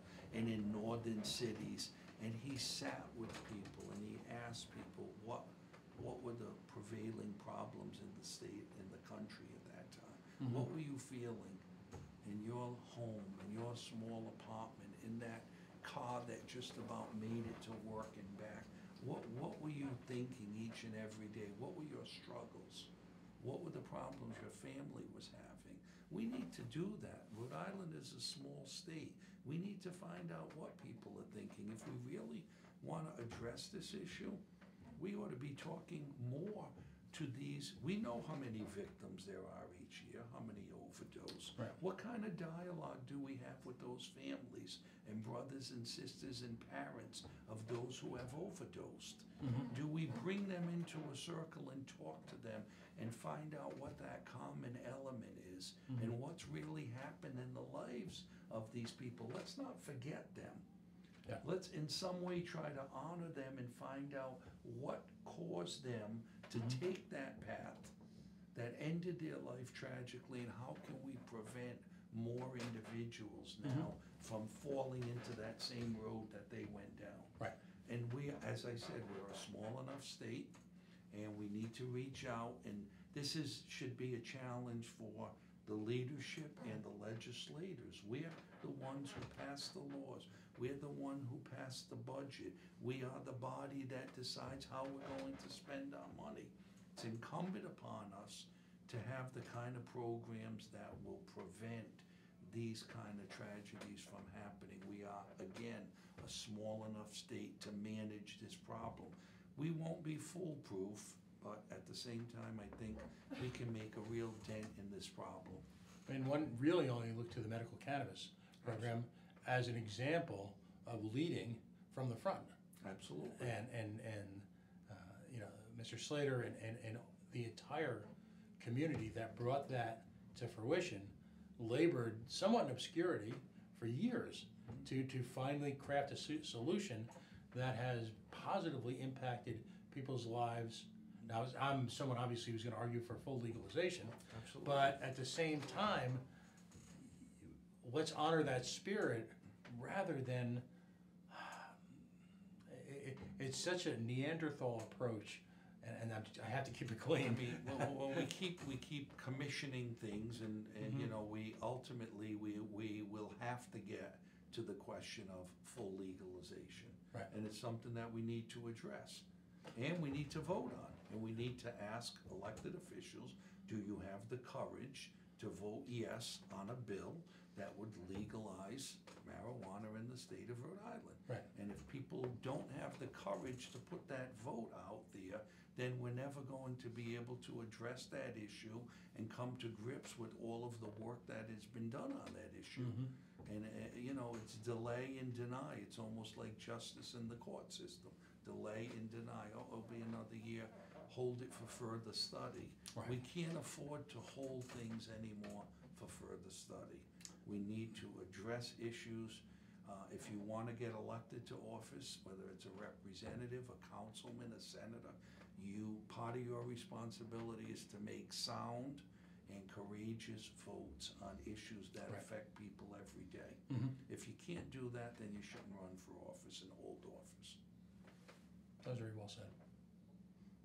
And you're clearly someone, from what I'm I reading, willing to take a stand. I've taken stand, I voted no on tolls, I voted no on the deep water, I, I've had, I voted no on the Pawtucket Red Sox, I voted no on a lot of issues. Is, is that Pawtucket Red Sox? Is that a thing? The Pawtucket Red Sox. Voted no on the stadium deal, no on the, vote no on, the- but, uh, it, it, it, what I'm saying is that there, there are a lot of issues at the State House that, um, ultimately we need to take up. You're not running a popularity contest up there. I don't think you can run a popularity contest, but what you can do is listen to the people that you represent. Mhm. I pay attention to my emails, I pay attention to my community and neighborhood Mhm. meetings. We have very active community neighborhood meetings. I tell some of my colleagues that I may have two or three neighborhood meetings in a month. I will have a response from some of my colleagues, I haven't had a neighborhood meeting in two years. I mean, I have, we, we have a very active, um, my district is the West End, the Armory, Olneyville, Manton, Hartford, Mhm. Down City District, Mount Pleasant, Elmhurst. Um, very intelligent group of voters. Mhm. Um, there is a, a, a great balance of, of issues in the neighborhood. You have to listen to what your constituency, I, I had many emails that came to me on this issue. They were very aware of this bill. You, you probably have, I think it's fair to argue, the most diverse economically, racially, uh, ethnically, social district possibly in the state. I do. I, I, I sometimes I say I have the haves and I have the have-nots. Mhm. And you have to be able to balance the importance of each group. Right. I just finished going to a, um, an opening of a, uh, a bio company in the Valley, Valley Street District, in the Right. Olneyville District. Dr. Annie DeGroot, uh, the company called Epivax Mhm. um, a biotech company starting up smack in the middle of Olneyville near the Rising Mills. Yeah. Right next to there is a clinic that was opened with Dr. DeGroot at the time, I think was Mayor Cicilline, Congressman Cicilline was the mayor. Uh, we put together some funding for a clinic that's called L'Esperance, which is a medical clinic that provides medical services to the needy in the district Mhm. we have to understand that everyone can't get to an emergency room. Right. Everyone shouldn't go to Right. an emergency room. Exactly. That we ought to have more community clinics and more quality service should occur in those clinics, Right. including someone who might have an opioid problem. Mhm. And that may be their first stop rather than a hospital. Or a Or- morgue. Or, uh, or, or- exactly. Mhm. So, uh, these are the kind of things that if you have a community, my community is very interested in the question of legalizing marijuana. Mhm. I get multiple emails on a regular basis of when are these issues. Women's reproductive rights is an important issue in my district. People repeatedly send me emails on those issues. Right. Um, so sooner or later, we have to address those issues. Um, and, uh, this, this opioid, the, the, the issue of this particular bill being passed um, is bothering many, many people in many levels of the state of Rhode Island. It And- bothers the working person and it's bothering the executive. And because ultimately, all of them have, I, I can't imagine there's, at this point, there's very many people in Rhode Island who don't have some sort of extended personal connection to the opioid crisis. I would say everybody has a connection, and it's a small enough state that you can talk to someone, and somewhere in their life, eh, if it hasn't been their experience, it's been a loved one or a friend. Or it may have happened and they just haven't heard about it Exactly. until, unfortunately, sometimes it's too late. And, or, or they, someone will disclose to them many, many years later that this Mhm. was an experience I had. I didn't wanna share it with you, but now I'm going to share it with you. And it, and it opens their eyes. Right. to the fact that, wow, there is an individual that uh, is functioning now at a level that I could never envision that that person could have ever experienced a problem involving substance abuse or some form of Right. addiction. And, and it makes them understand that, look what we can do if we really find the right programs and we spend the money and we attack the problem with solutions, not crazy legislation. Right, because ultimately, how many human rights issues, whether it be ethnically based, racially based, in terms of sexual identity, healthcare, it might be a function of the criminal justice system, how many human rights issues have we ultimately conquered because folks finally stopped seeing that group being marginal? I always say, if, if you refer to a group with, and, and you start the description with the, then you are not sufficiently familiar with these people as human beings. And, you know, at this point, it's the addicts or the recovery. And if you say that, that probably means you just haven't come to terms with it in your own life. And once we overcome that, and it's not the, it's not an identity group, but is my buddy Bill, who I play softball with, or, you know, my friend Susan, who I go to church with, or fill in the blanks, or my cousin, or this, you know, it, then I, I don't know what hope there is. Maybe that's what we have to do as part of this process now. Finally, bring it home to every individual who's in a respo- position of responsibility. Well, I think, I think that's why when we process a piece of legislation and we look at the underlying legislative intent, Mhm. and then ultimately what the effect is going to be of the passage on that bill. For example, sometimes we pass legislation and a member of a committee will say, do you have a fiscal impact on that? Right. Do you have a fiscal note? Mhm. Tell me what the fiscal note is, either the cost or what it's going to result in.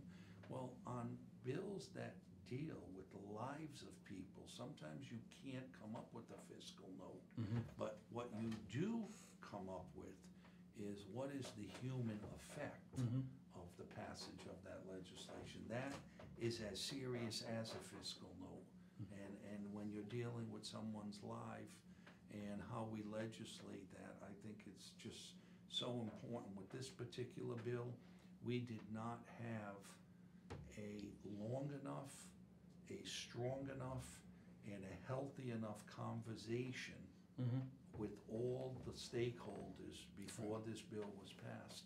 And I think that's why uh, the ultimate uh, passage of it, i- we're getting, we're getting a kickback on it now Right. because the people who really should have been heard and included were not. Right. Do you have, in closing, and, and, and again, I'm so grateful because I know the demands on your time. Um, as some, you know, it, it's always fascinating to me, if you're an activist and uh, you go up there for certain issues, unless of course you're Randall Rose and you're there for every issue. God, Randall's there on every issue. God bless him. I, and I mean Boy, that. He, he has a great stamina, Randall and His work ethic is Absolutely, astonishing. and he knows each bill and what the purpose is and is very informed. And he When he always prepared. testifies, he's very prepared, Yeah. Randall. Uh, I mean, the Boston Red Sox should be as prepared as, as Randall Rose is. But what's interesting to me as someone who follows certain issues very closely, you guys are up there regardless. Everything, every night, all Every night, night. all night. At least three nights a week, and it will be probably four nights a week next week, and hopefully within a couple of weeks, we'll be finished. Right. Do you have a, a, a message, if you will, Um, we're going to take this tape and we're going to blast it all over social media this weekend in an effort to politely and, and with, with a positive attitude, uh, generate a sense of, of how the community feels so that we can reach out to the governor who who can possibly put this madness to an end. Let's send it back. Let's take a deep breath and, and figure out what we're really trying to accomplish.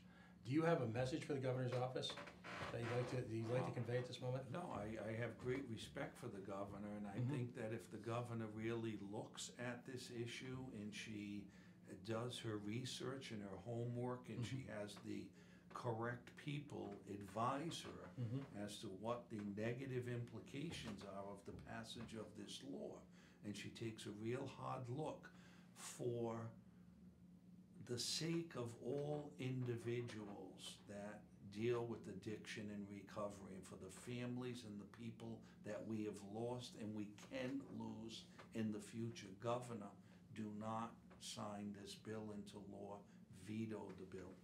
Excellent. Thank you very much. Absolute pleasure. It's great to sit on the same side of the table. Absolutely. Well, uh, don't be surprised, we may sit on the same side more than you think. Senator Paul Jabour joining the coalition on a busy Friday night. Will you be out and about during Pride tomorrow? Will you be in the I will community? be there. I took out an ad as well. I saw that. I'll be with some of my uh, colleagues from the neighborhood. I'll be there tomorrow. Right. You'll see the Libertarian Party marching. Come march along with us for a few minutes, I'll okay? be there. Thank you. All right. Come on in. We're I gonna, have to go to one more Hi, neighborhood. Matt. Good to see you. good to see you again. I'm the Nefarious member of the underworld here with you. That's me. I'm the notorious, I'm I the like that Irish, one. ver- uh, Irish version of the notorious B.I.G. I'm not sure what that means. You know, Yeah, I'm, I'm as gangster as a middle-aged guy gets. Okay. Are we live? Yep. Hey, we're live. Okay, folks. Let me just uh, draw back for a few seconds here. Um, first of all, uh, our long-suffering, highly professional producer Joe. Hey, Joe, I think we're supposed to change the the, uh, the ad. folks, I want to take a second, first of all, to thank our sponsors. Um, you know, we've we've got a variety of sponsors who are willing to support um, challenge programming like this. And when I say challenge, the issue is serious, the issue is important. We try to bring the issue home to you. But not every company is going to sponsor a three-hour con- conversation about addiction and recovery and a highly controversial law. Just, that's not gonna happen. So I just wanna take this time to reach out, first of all, to airsciences.net, owned by Daryl Gould, operating in the East Bay. Biohazards, mold remediation, bringing a sense of, I shall say, a sense of peace and a sense of, and a very real safety to your home, to your office, to your, to your school, and eliminating the biohazards that challenge all of us on a daily basis. airsciences.net, please reach out to Daryl. Folks, if you also find yourself suffering uh, with an illness that may have compromised your immunity, uh, please reach out to Daryl at airsciences.net. They've got very, very special programs um, that are tailored specifically for po- folks who are suffering. Um, I don't think anyone needs to know how we feel about Yacht Club Bottling Works, the finest soda on the planet. I love Club soda. In fact, I'm gonna, I'm gonna have to take a break shortly to get a, to, to take a swig. Um, you know, the, the, you know, the folks at Yacht, this Gambado family, Club Bottling Works have been with us for hundred and three years, the official soda of the state of Rhode Island. They are Rhode Island's boutique soda before we even knew we needed a boutique soda. Um, yeah, natural flavors, real sugar as opposed to the refinery stuff. Don't drink the stuff that's out of a chemical plant. You got the real deal here, real ginger, real vanilla, natural flavorings. It's delicious. You know, we're in, fully into now the barbecue season. You're gonna, you're gonna have your family over, you know, we're coming up to the July fourth weekend. You know, you're gonna spend all sorts of money, it doesn't matter whether you're vegan, if you're seafood, steaks, burgers, whatever, you're, you're gonna roll out the very best. Don't settle for the refinery soda. You know, support a local business. We've uh, given a great deal of time over the last few weeks about how they've been challenged by some pending legislation. Um, They make a great product, and that's why you should buy it. At the same time, let's root for the hometown team here. You can find them at Eastside Marketplace. You can find them at their bottling facility in Centredale. You can also find them at fine restaurants around the city. And on Saturday mornings, you can find them at really one of Rhode Island's great farmer markets that takes place every Saturday during the summer. It's at the base of Hope and Blackstone Boulevard. And you'll see a variety of farm-to-table products as well as the finest yacht soda made. Uh, Beacon Shipping and Logistics, finally, they've been with us since the very beginning. One eight five five three, ship it. Imagine if you had professional, world-class automobile shipping within, with international reach, and they're based right here in scenic Cork, Rhode Island. Yeah, one eight five five three, ship it. They service a significant part of the dealer and professional automobile industry world. They can do the same for you. Their same reach is international, and whether you be buying that car off of eBay, uh, maybe you found that great internet find in Iowa, and you just wanna s- uh, capitalize on your savings by having it shipped out to here, as opposed to having to schlep out there and drive it back. One eight five five three ship it. All of these companies deserve your support because they support us and as a result, they support the community. Folks, we are at the midway part of a very special show. Last night legislation was passed by your House of Representatives. Ill-fated, ill-considered legislation that essentially criminalizes recovery in so many different ways. It criminalizes folks' involvement in recovery, criminalizes folks' involvement in addiction. There are so many tentacles with this reaches into the community and essentially takes discretion away from courts, away from civil authorities and places people firmly in the prison pipeline and it needs to be, needs to die. We're asking folks who hear this over the weekend or tonight to take a moment to reach out to Gina Raimondo politely and say, regardless of your early support for this legislation, what ended up being generated was again, ill thought and quite frankly dangerous. People will die as a result of this.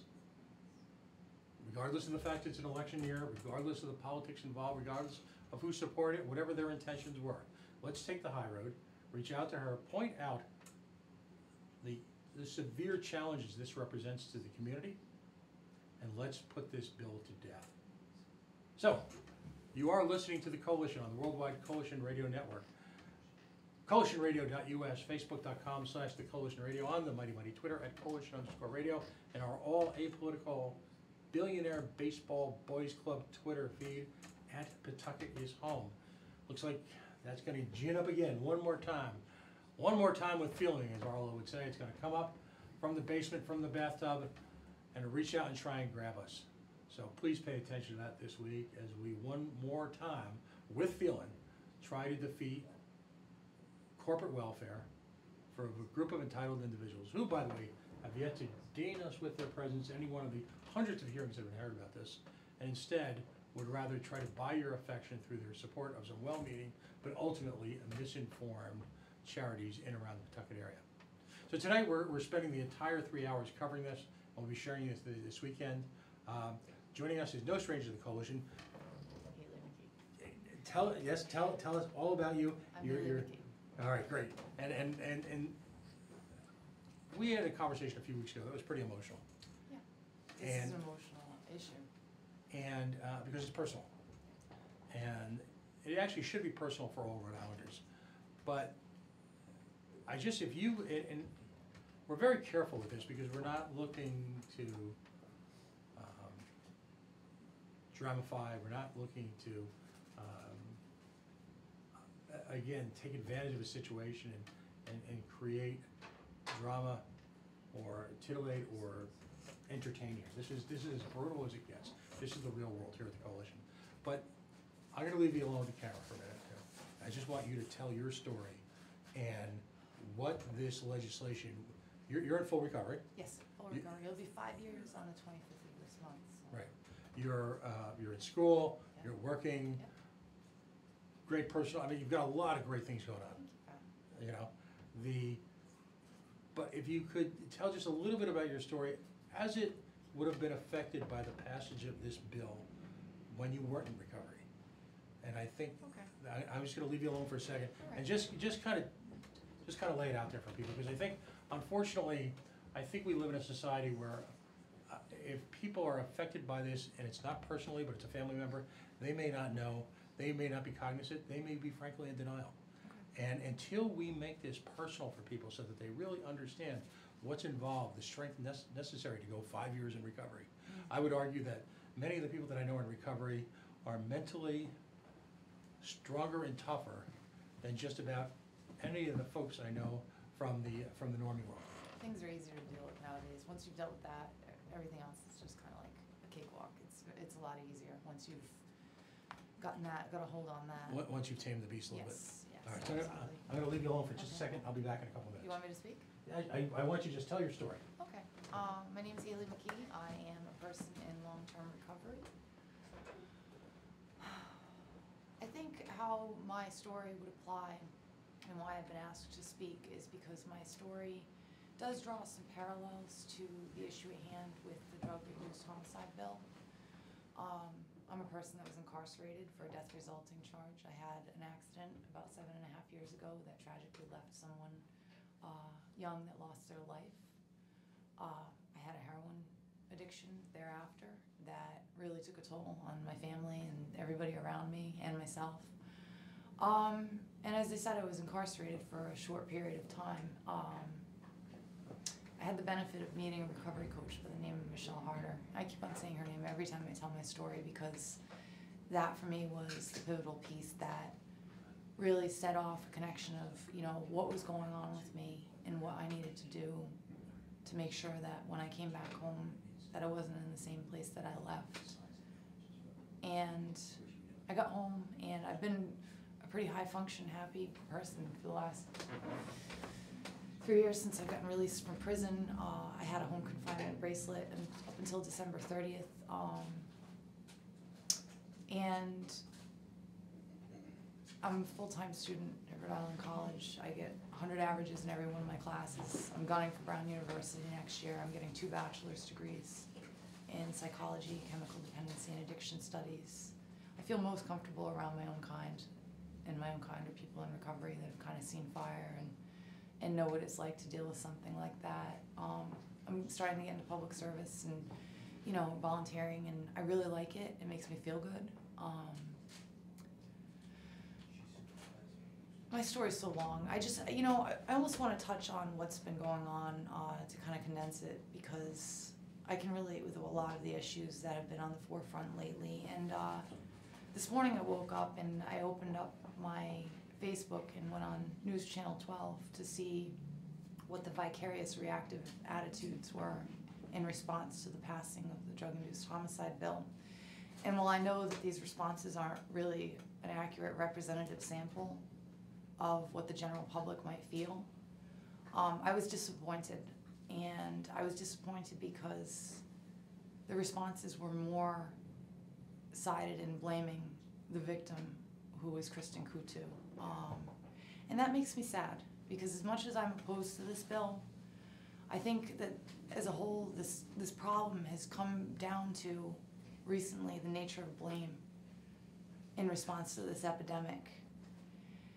And I think that's what we're seeing in our legislature right now is to put the blame on an individual. Um, I read in, uh, the Attorney General's letter that placed the blame on the medical community for causing this epidemic. I know what I read this morning blamed the victim, the person that had passed, and uh, none of these things capture the complexity of addiction and the underlying issues that can lead a person to start going down the path where they start medicating, self-medicating for problems, whether they're traumas or they're environmentally predisposed, whether it's our media that glorifies it,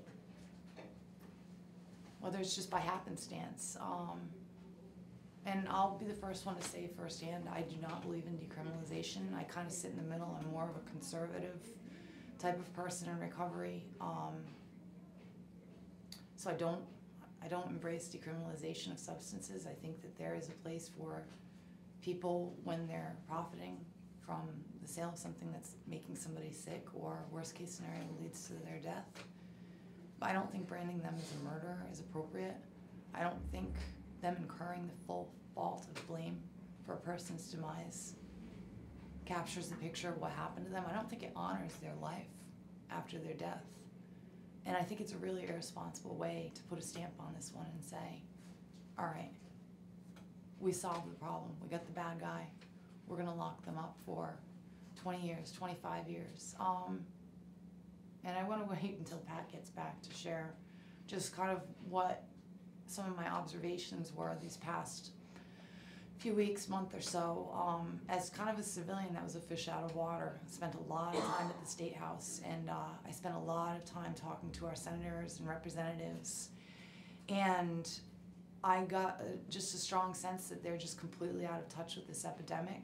Um, that if this were in their hands, that it could have dire effects. Um, and that's something I want to talk about. And uh, I think it's important to stop playing the blame game. You know, stop pinpointing. It's the addicts' fault. They they did it to themselves. They killed themselves. It's the medical community's fault. It's big pharmacies, and there might be something to the big pharmacy's fault, but um, or the or the distributor. Uh, I think all these things can person uh, can have a part and play a part in a tragedy like an overdose death, but I think to be solutions based, we need to stop blaming because this is a medical health, public health crisis, and blaming doesn't help this. Blaming doesn't fix this. It just creates more of the same.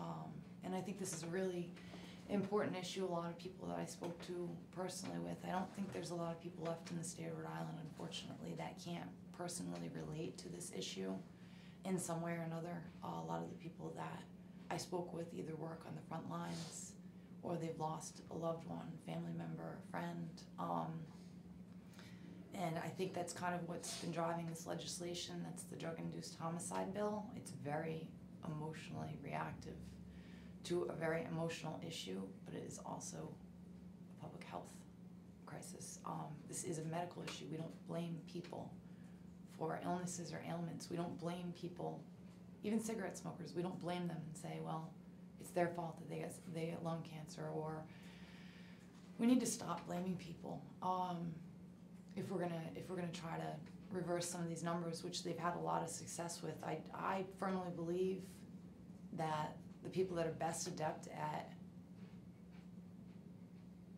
acknowledging or handling or steering this issue are the people on the governor's task force.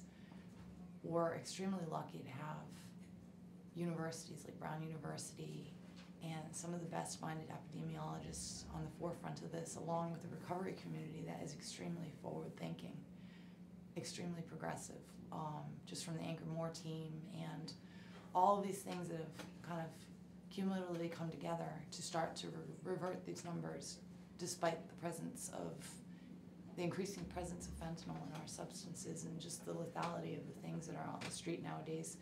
They're working on it, and it's uh, it's not perfect, but um, I read the the attorney general's letter. Um, I think that he referred to people that weren't supporting his bill as his opponents, and that was kind of telling as far as how he's looking at this. It almost speaks to the fact that he's registering himself as a as a separate entity in this solutions based matter. That the people that are working on this and the front lines people and the recovery community are his opponents.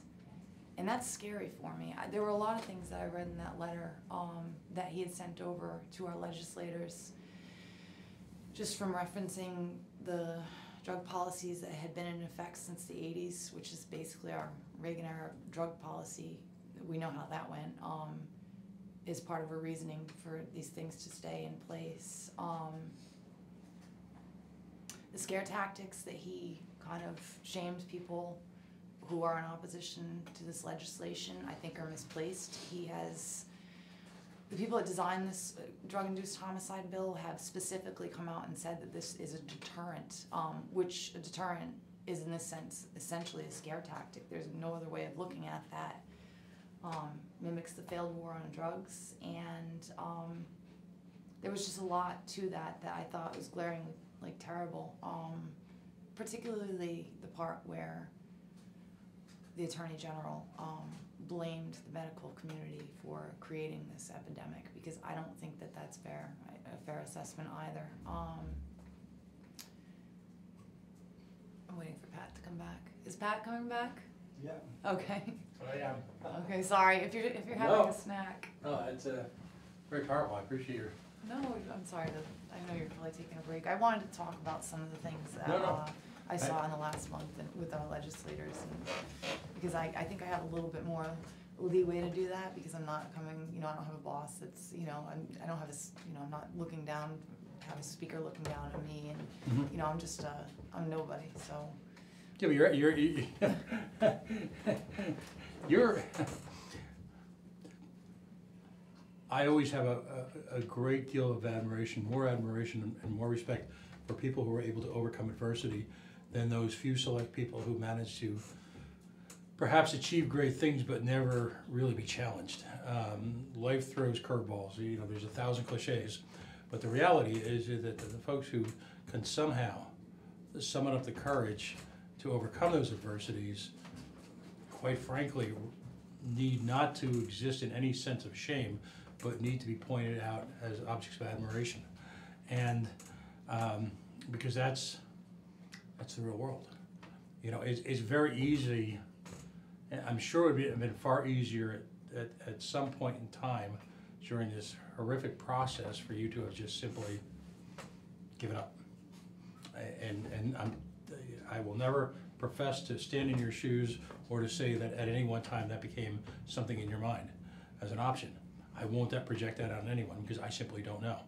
But I had an opportunity a couple of years ago to stand in front of, it was about 20 degrees out, and I stood in front of a crowd of people who were going to, uh, uh, to, to testify against uh, increasing or placing a tax on medical cannabis. And I'm standing there in front of, in, in bitter cold weather, in front of some people who are no longer with us. They're, they literally succumbed to late stage cancer. Uh, these are people who were suffering from severe neuromuscular diseases. Um, and, you know, there are a couple of us were asked to speak, and they were really cheering us on. I said, wait, no, no, you, you got to take a moment out here. And, and I just asked everybody to look at each other. Don't, hey, I'm, I'm, I'm just a, I'm just a cheerleader there, and applaud each other. And that I think has to happen within your community as well, because you know, again, these are people who are warriors, uh, like yourself, who face adversity every day on a daily basis, and somehow manage to overcome it. And some days better than others, I'm sure, but that's again, that's where real strength comes from. For those folks in communities where they find themselves in a privileged position to rule, if you will, uh, and are willing to project that power onto other people's lives based on uh, misinformation, cliches, sheer personal self-interest, sheer desire, and there's always a certain personality that just likes to be in charge. We've met them all. Um, I have nothing to say to them uh, because those are the folks at moments like these are are are desperately challenging other people's lives, and I don't know that we'll. I'm not so naive to think that we'll ever do away with that in government. There will always be that element, but we're also blessed in a time when, through whether it be the Facebook, whether it be, you know, people's appetite to take on a challenge, that we as a community can defeat that. So, I, I stand in rapt admiration of anyone who overcomes any of those type of challenges, because quite frankly, I don't know if I could. So I just, uh, you know, as far as folks like you or your community not being on a par with them, you're right, you're not. You are light years beyond them, light years.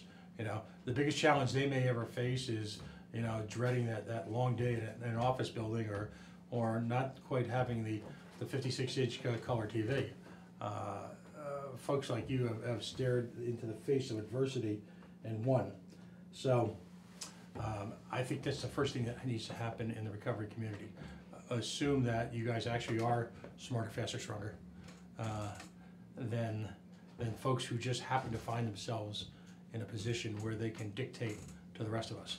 And from that, this draw from the same strength that you used to overcome adversity that brought you here in the first place, and then use that same strength to assert yourself and to to to take back control from people like our Attorney General and just take it away from them and take complete charge.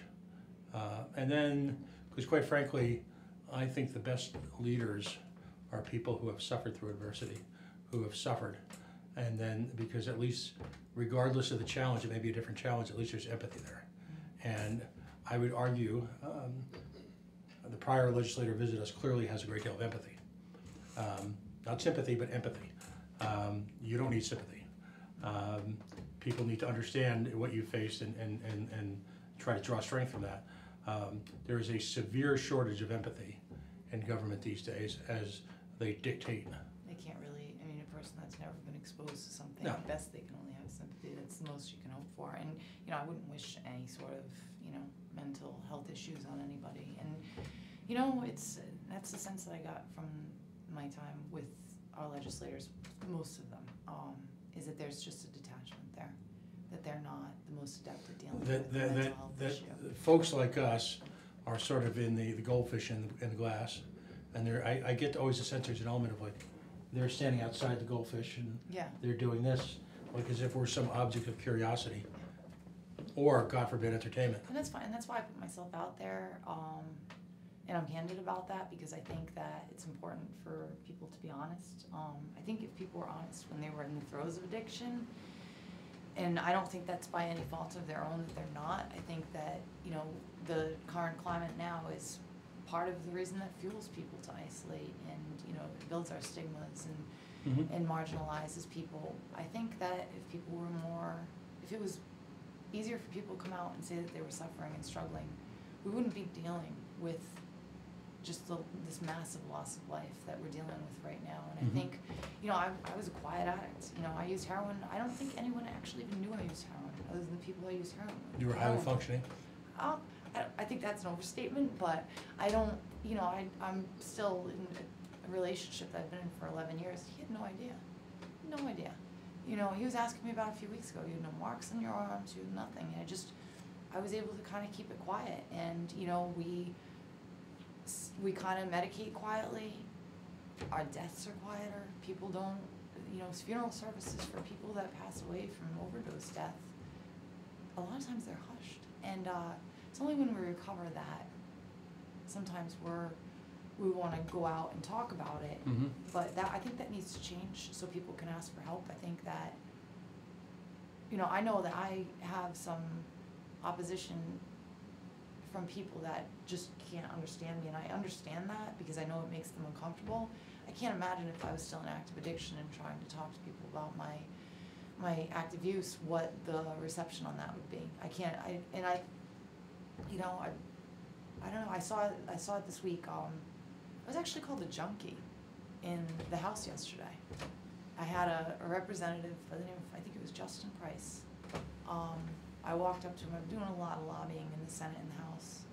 I found them to be completely two different animals, like it just, I'd never, I hadn't been in the State House since I was a second grader and went on a field trip, like I was. You went on the official second grade. the second grade field trip. And Right. just, you know, it's, you still get the same feeling walking in. It's just a beautiful building and it's got a lot of history. Um, but you know, I spent the first couple of weeks in the Senate while this drug-induced homicide bill was making its way through there, and um, I found the senators to be generally a little bit more informed as to the issue, even if they were in support of this legislation. I found them to have a little bit more knowledge on how they were voting. Um, Mm-hmm. and then we, when we made our way over to the house side, um, it was just entirely different. The first day that we got there, a couple of weeks ago, um, I was approached by a few reps that were just, they were honest, and they said, you know, this is the speaker's bill, he's sponsoring it, nothing's gonna happen with it, it's gonna get passed. And I thought they were joking.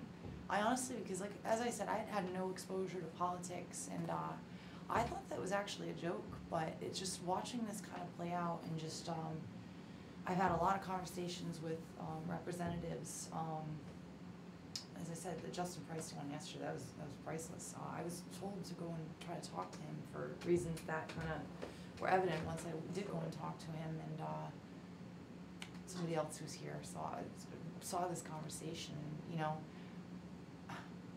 this person was different. He was in an altered state of mind or something. He was a lot of weird body language and just kind of like I could smell things on his breath. And you know, he said, "Well, they're junkies," and I don't even know who he was referring to. I don't know if he was referring to the people that are getting potentially charged with this crime, or the people that are dying from this epidemic. But he's they're junkies, and he just kind of threw his hand up in the air and he said, "What is that term misplaced?" And that's like that kind of like honestly captured what what's going on here because this person doesn't even know that that's a completely, like, kind of obsolete, like, dated term that's, that's Right. harmful.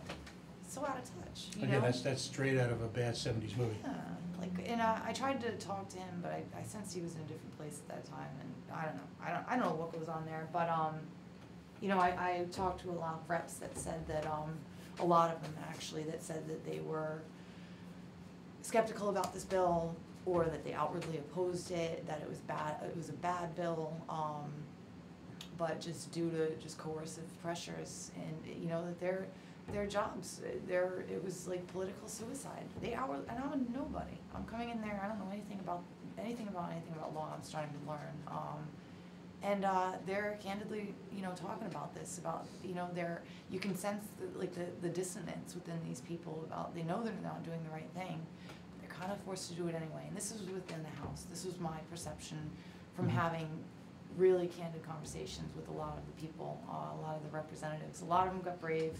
And to be fair, there were a couple of people that stood in support of this bill last night that I felt had reasons at least based in some form of Right.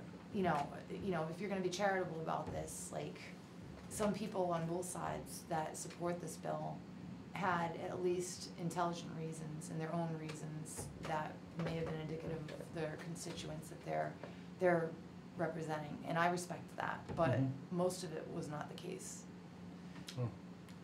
Um, do you have a message for the governor? Because we're, we're sending the governor actually a little bit of love tonight.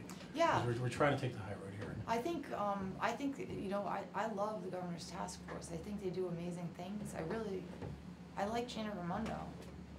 I like Governor Raimondo quite a bit, I think she's, you know, she's a woman in politics, and that's, you know, she's, she's our governor, that's amazing, I respect any woman that's just a go-getter, and just, you know, I, I love what she's done for this epidemic, and that's why I don't understand why we're not being a little bit more vociferous or just like why people are so quick to stick their head in the sand on, on this on this legislation, on this bill in particular. Like like we're trying to open up the conversation and keep on doing positive things to help people that are suffering and struggling around us.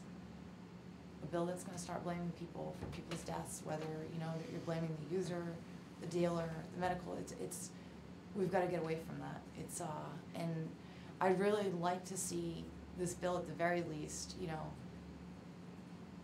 not pushed so hastily as it stands now because there's so much opposition here and the, and the forces that are pushing it forward and moving it are not representative of the people that understand this public health crisis the most. And, um, I don't even think it's representative of what the community wants because I think the community is starting to gain some familiarity and some Mhm. intimate con, uh, uh, some intimate contact with just the, the loss and the suffering and it's just the severity of this. It just, please just, before we move this along, I just ask Governor Raimondo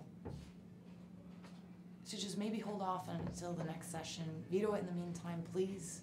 Let's fine tune this and make sure that we're not going into this in any sort of emotional reactionary way. And that this, this legislation, any legislation that we put forward, forward to deal with this epidemic is in line with all of the progress that we've made to kind of combat this and um, to deal with this as a public health crisis and you know solutions based and not more of the same. Um, you know, I heard a lot of the, sen- uh, the, the the House House members last night saying, "Well, there's 36 states on the books. There's 36 states on the books. Let's not be 37. It's no excuse. We've been the gold standard for treatment for this epidemic. Let's have our any sort of laws or anything passed that works. It should work in conjunction. It should echo the progressive stance of our state, which has made some, you know, amazing gains. All right. Let's be smarter. Be smarter. Let's, a little bit of love and a little empathy goes a long way in solving a lot of problems. It does. Yeah. So, Wow. Um, Again, I, I, what I, what I, what I wanna do for the, for the, for the next segment is, and the reason why I'm kind of bringing people in and out, cause I, I want there to be interaction. We've got, we've got such a range of smart people here tonight. Good. You know, Steven Brown dialed in, was kind enough to dial in. Um, you got the senator, uh, and we've got the guests who are here already. And it's a pretty unique lineup. There's a, there's a lot of experience, a lot of, a lot of smarts here. So I'm asking people to mix it up because it's, as, as someone who's allegedly the host, I stand topside and I can ask clinical questions. But I, I just, I just don't have the experience or, you know, I haven't been there. And everybody in this building, except me and Joe, um, has got a, a much stronger, much keener perspective and insight into it. So that's why I'm kind of, I'm kind of mixing people up because I, I, I, we started the show by analyzing how bad the law is. We started the show uh, uh, critiquing um, the uh, the reasons why it's here. We took a hard look at the the war on drugs. We took a hard look at the legislative climate. And now, what I'm going to ask, uh, maybe I'll have uh, Michael come in for a little bit, and then Jane come in. We'll, we'll, we'll kind of mix it up a little bit because I'm, I'm asking you to to speak to the audience that's listening tonight and who's going to listen this week because this is going to be everywhere, folks. I'm going to push this as hard as I've ever pushed anything because we are in emergency mode right now. There, there is the, the, the only way forward is for some miracle stop when the two, when Senate and House engage in reconciliation. I'm not expecting it. So right now, it is up to the governor. This, this is essentially, you know, I'll make a cheesy analogy. It's, you know, it's one of those bad nineteen forties prison films, and you're waiting for the governor to call and give a stay of execution. Mm. Because this literally is a stay of execution Yeah. that we need for her, because people will die. Yeah. And so it is uniquely within a governor's hands. Um, I very uh, oppose her politically on just about every level, but it's not my role to speak tonight. It's, it's yours, and it's it- it's Jane's and it's Michael's role to speak tonight because you guys transcend normal politics, and so hey, Mike. Yep. Come on down, because what I want I want the two of you to talk about is just, uh, and, and then we're gonna mix people up again in another ten minutes or so. It is kind of come across this with, all right, let's take the highway. Let's assume that you know the miracle bottom of the ninth play takes place, and the governor uh, says, you know what, nah, I'm gonna I'm gonna bail on this. My reading is is that there's not enough votes in the House or Senate to overcome a veto. I think at that point, a lot of people would just let it die. So let's take that, let's take that approach and say, okay, what do we need to do, you know, to move forward? How, how do we address this issue? And the two, the three of you actually have a unique perspective on that, that I quite frankly add no value to. So I'm gonna hand it over to the two of you.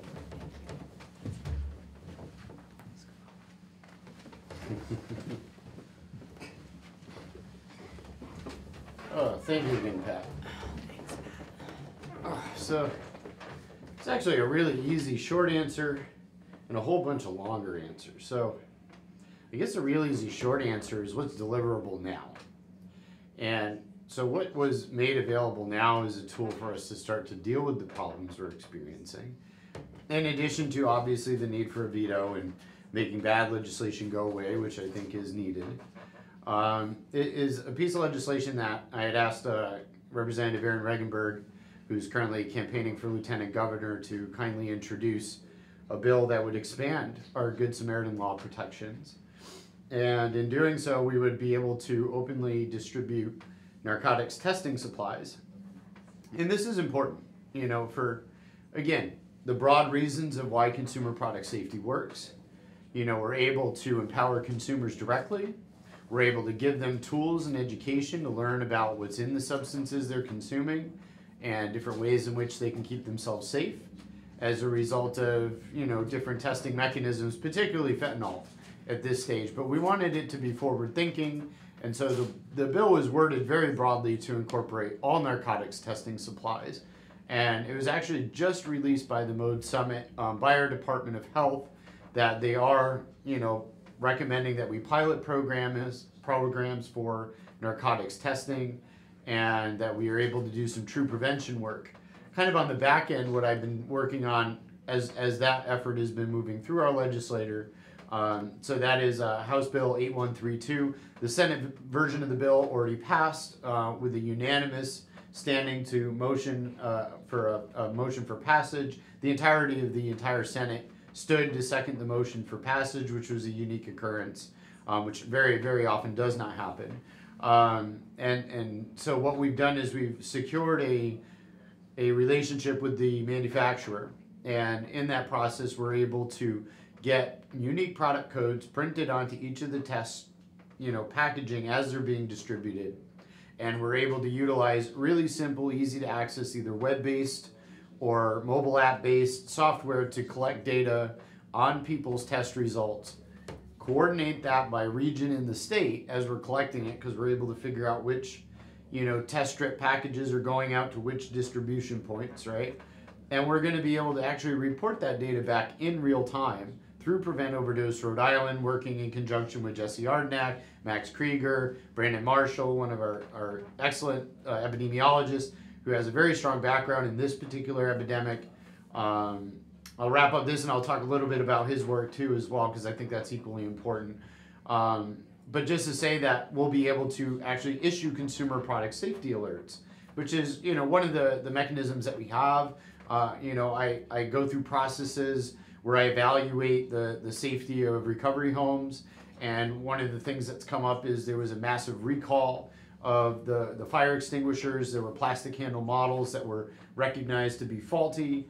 And so I have a website, I have a resource, I have a way that you know those products are checked for quality and that information is communicated directly. The, the problem with having illicit substances is we have absolutely no mechanism of control of the market whatsoever. And the criminal justice system that we've propped up in place has nothing has done nothing but to remove some of the, the longest standing and potentially the best actors who have delivered a consistent service in, in providing controlled substances or at least access to controlled substances.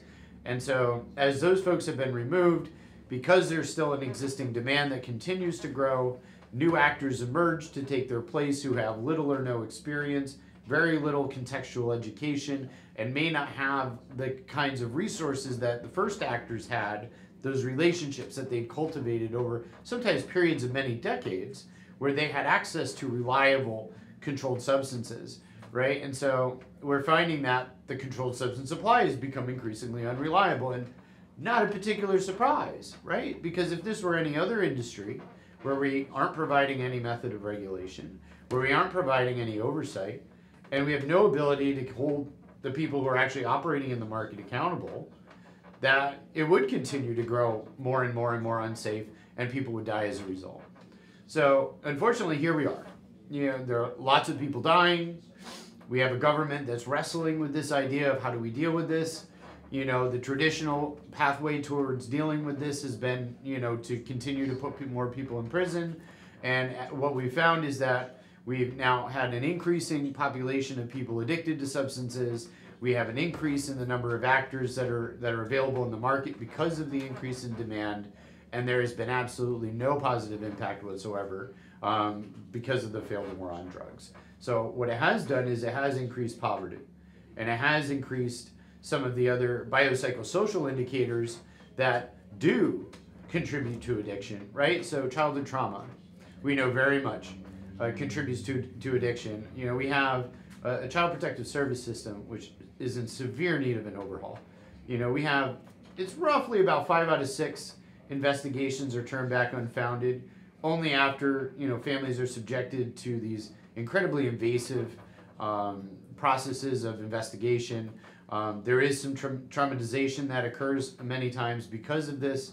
Uh, it's not intended. It's certainly not you know the the overt intention of of the process. We're trying to keep people safe, but at the same time, there's a lot of harm that occurs as a result. We're looking at about 3.2 million people throughout the country. 2.5 of those are actually genuinely turned back as unfounded.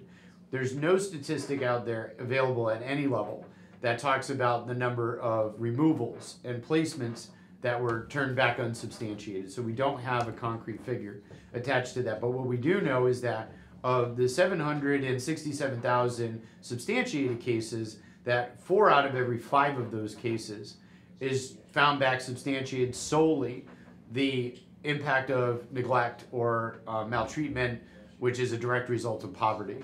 Um, so we do know that the vast majority of harm that is contributing to the the uh, the addiction crisis. I would say this more broadly, not just with opioids, but we've had wave after wave after wave of addiction, right? Is because it's driven by poverty. And so, as we continue to commit more resources towards criminalization, you know, we already spend more in the state of Rhode Island on criminalization than we do on secondary education. We're more committed to the investment of removing people's rights than we are in giving them opportunities. And, and so that is a drastic departure from our need to set our priorities straight. So we have not been able to do that. Uh, unfortunately, fear is one of the single most driving factors in political campaigns and you know political cronyism and you know the power that's consolidated within the legislator it only serves to continue to perpetuate an agenda that is not genuinely driven by objective evidence and scientific scientific fact and that's that's proof in this most recent legislative effort we had literally almost the entirety of the, the public health and recovery community the people who are by and large undisputedly the highest experts on dealing with this particular crisis. And we have found ourselves at an intersection when the, when the collective voice of that entire community does not hold more weight than one person who holds an office in the House of Representatives. And that, ladies and gentlemen, is the crux of the problem. We need to have a commitment to uphold the value and the opinion that's backed by evidence, so this is not subjective opinion, of the medical community when they weigh in on a public health crisis. We have no legislative requirement to do that. I would propose, were I a legislator or maybe some other wise legislator who's out there listening, that we insert a requirement that matters that weigh in on public health must first go through a vetting process with a body that serves public health and get a formal recommendation and weigh in on the matter before a proposal is even brought into our legislator. By the time we're debating issues in front of the legislator, we have gone far too long along in the process. And so now we're entering into, you know, public debate and it's diminishing the standing of our professions and, and I really want to emphasize that I don't sit in this chair to diminish the value of the work that our law enforcement community does do in our community. We understand that law enforcement can only be as effective as the tools that they're given. And I think it's extremely important that we give our law enforcement professionals the best tools that we can to be able to do their job effectively. You know, I had a very meaningful conversation with a very nice, experienced officer uh, at the State House shortly after this vote. And it felt very peculiar to me. For me, being a, harm reductionist, you know, somebody who has worked progressively to try to uh, stymie some of the death from overdose by working with people directly in the street, performing needle exchange services, nearly being incarcerated for distributing naloxone. I mean, this has been, you know, a war on drugs, which has really been also a war on our public health measures. Um, and we, we have continued to diminish the importance of people who have literally decades of experience that know more about dealing with these things than anybody else in our state. And yet, somehow, because of criminalization, we have lost that standing as it's transmitted through our legislator.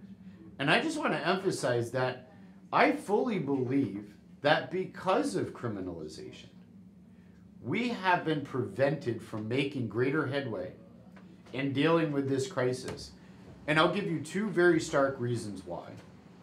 One is the Uniform Controlled Substances Act at the federal level, which prohibits objective research from occurring on any illicit substance. So, the reason why we do not have more information about these chemicals, how they affect the body, how they affect the brain, how they affect the fabric of our society, is because the federal government prohibits it by law. We're not permitted to do research on something that is killing hundreds of people in Rhode Island, and we can't even legally ask the question why and get an answer. That is absolutely absurd. And the second reason why The second reason for it being so difficult to deal with through criminalization is that when we tell people that they're doing something wrong, we blame them. That blame for people who are vulnerable invariably converts to shame. It becomes internalized. They own it. They begin to take a part in a narrative that has forces far beyond their control, steering their life in the direction where we all know that it ends for far too many of these people jails, institutions, and death. And when we continue to progress the criminal agenda, we take away the one thing from people that we know works in recovery. We take their hope away. When we tell people that we want to see them go to jail for life, we're also telling them, their families, their communities, that we don't even believe in your capacity to change. We have ripped the very hope away from our society, the very hope that the people in recovery, the one recognized way to actually address addiction directly, this is the antidote, people, is inspired by hope. We take the fundamental tools that we need in every one of our communities away from the people who need it most. And we ask ourselves, why do things keep getting worse? We're at fault. If we could have put more money into schools instead of prisons, we could have stymied a lot of the impact of childhood adverse trauma. And we would have far less people that are struggling with the profound levels of addiction that we're seeing in our society today. It was a really, really amazing study that was redone. And it was drawn on the original mouse study that was done in the 1950s and 60s that gave us the clinical definition, the way that we defined addiction as it occurred in our society. And so what they did is they took these mice and they locked them in these tiny cages and they, they hooked them up to a dose of heroin. They stuck a needle in their jugular vein and they strapped it there. And then they trained these mice that if they wanted, they could push this pedal, and the response was they would get a jolt of heroin. And what they found invariably in this study, in these settings, that as mice became opioid dependent, as they continued to use, that Increasingly, they would increase the frequency of the dosaging until many of them died as a result. In more recent years, this study has been revisited because we understand a lot more about good research methods. And in the replicated study that was done, there were two control groups.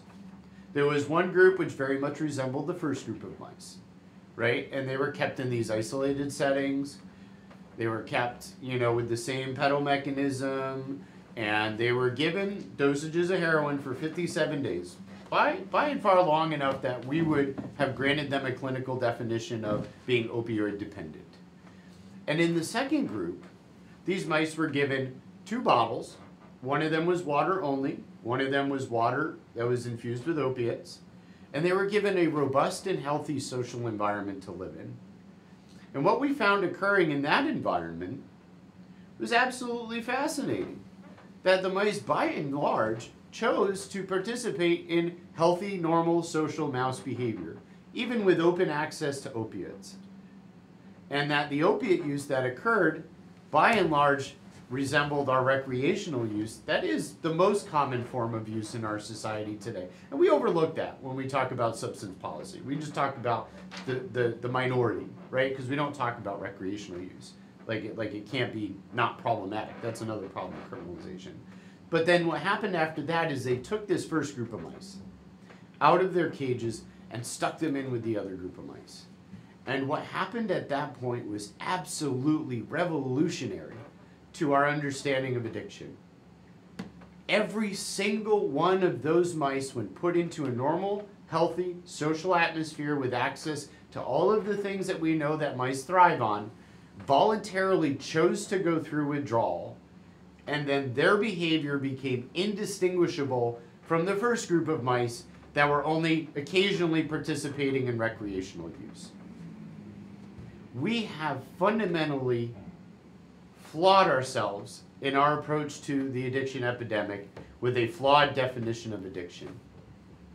Our understanding of addiction has come from severely flawed research and from bottlenecked opportunities that have been prevented because of criminalization. So, as much as I support the work of law enforcement, and I do believe there are very good instances where law enforcement should definitely be involved in a process, I think that many of the law enforcement tools that we have are inhibitive. They prevent us from progressing in our solutions, and they also actively contribute to the problem. And I don't think that there's any other way we're going to be able to truly move forward in dealing with this crisis until we can come to grips with that. Excellent. Okay, we're gonna switch things up a little bit. I'm gonna bring Ann Jane in. And Haley, why don't you come with me? And then, what I want the both of you to do is before we leave tonight, I'll close up the show. For both of you, I want to give sort of a a heartfelt, polite shout out to the governor and tell her, well, what, what you think. Okay? All right. well- Joining us just now, again, is from Rhode Island, Rhode Island's Protect Families First, Anna Jane. Hello. So, did I get it right this time? Yes. Okay, for, thank you. Um, again, let's keep the conversation going. Yeah. Um, Angie, jump in there and tell me what you think the right model is going forward. Yeah. What, what, do- what do we need to do as a culture, as a society, and then finally as a state? Because I think the first two are far more important than the quote-unquote state. Yeah. So, um, when I talk with people who are think, wanting to support their loved ones who they are concerned about their substance use or their substance abuse with, um, what I say is that the drug use is not the problem. The drug use is the symptom of another problem. So I say, when I talk to people, I say I'm concerned about whatever circumstances got you to this point, and I'm concerned about the potential harmful consequences of this action you're taking. And by focusing on the things that lead up to that and the potential consequences, I think that really opens up a conversation that's not based in stigma or judgment, but it's really based on care and love for a person. And I think that's a better place to start from and a place that people are more open and receptive to, and it's really meeting the person where they're at.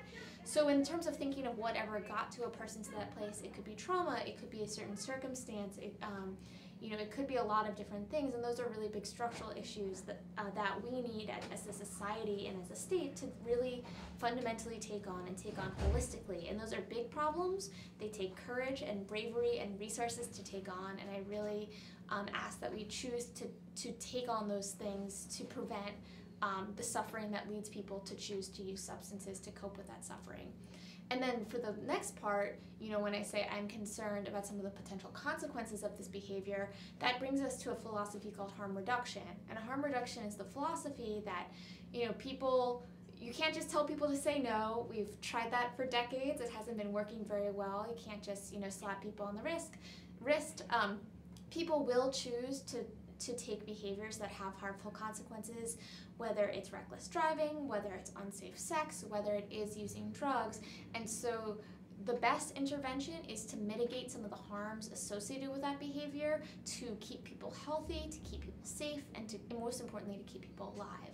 So one potential um, analogy I like to make is that many of us do a very dangerous thing every day, um, which is we drive in a moving vehicle and this is potentially deadly and we just do it like it you know every day like it's like it's no big deal. However we've put a lot of protections in place to keep people safe and alive and these are harm reduction techniques. So we have stop signs we have seat belts we have airbags um, we encourage people not to drink and drive. We have all these protections in place and the number of traffic fatalities has greatly reduced because of that. And there are similar um, strategies that we can use for drug use so we have things like access to naloxone, the overdose reversal drug, which literally keeps people alive. And so that is a harm reduction technique. Or we have drug checking techniques so that people can see what substance they're using and make more informed choices when using a black market or illicit substance. People can use drugs in groups. Um, you know, people can use less of a drug. There are different things that people can do to mitigate their harm. And so, coming from a place of love and meeting people where they're at rather than stigma and shame, which is just going to make people um, not want to disclose information or not want to seek help, I think is important, in addition to thinking about the structural suffering that leads people to the place where they choose to use drugs. So I'd say that holistically, that's, um, that's the philosophy that I come from. So I don't know if you have anything to add to that, Michael. I, I don't think I could have said it any better. You, Yeah. you always amaze me every time you talk about this because you have such a matter of fact way of speaking about something that really is both very big picture and very little picture. Yeah. And and that's I think I think the difficult thing for people to encapsulate with this.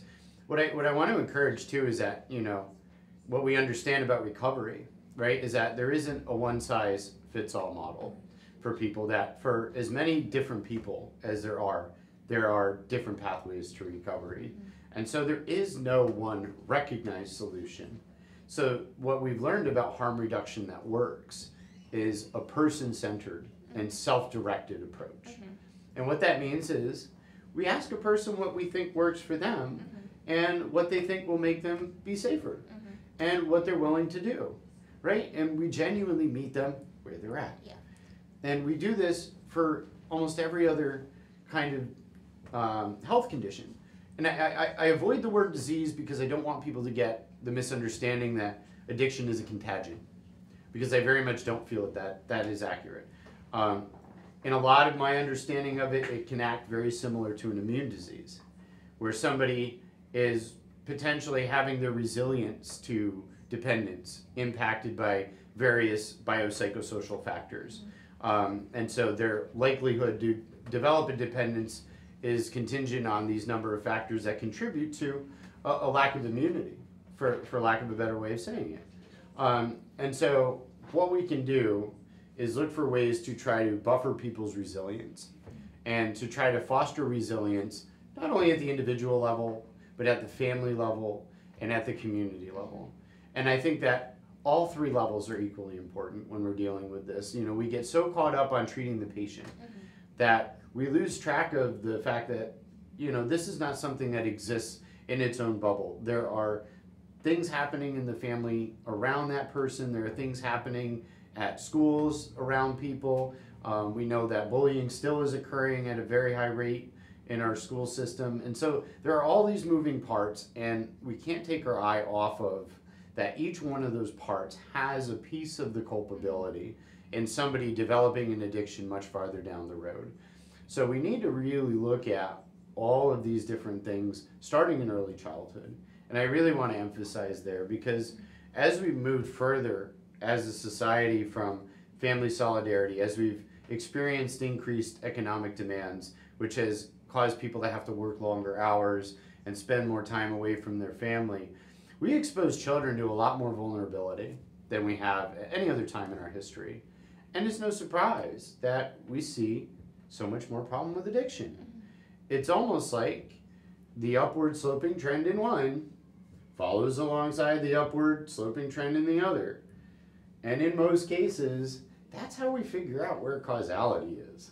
So I just want us to be thoughtful about that. And, and I'm really interested in hearing a little bit more of, of your perspective of, of the big to little Yeah. and, and what that what that is from your experience. Yeah, and I think you bring up a piece where you know, um, you know, addiction is being understood more as a health or a mental health thing. That's you know obviously within the societal context, but um, that that's an that's a thing people say. I mean, people do say addiction is a disease, but I also want to reiterate and bring this back to Kirsten's law, which passed out of the House yesterday, that we are at a critical juncture right now to make a decision if we are going to treat addiction as a health or societal problem or treat it as a criminal problem.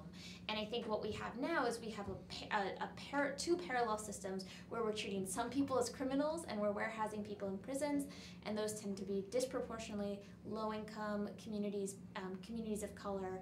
And then we have another system where we're treating people as patients, right, where we're connecting people to treatment and um, people to social services, and those are disproportionately white people, right? And I think that we need to have an honest conversation about how we are treating everyone um, and making sure that we are building solutions that work for everyone.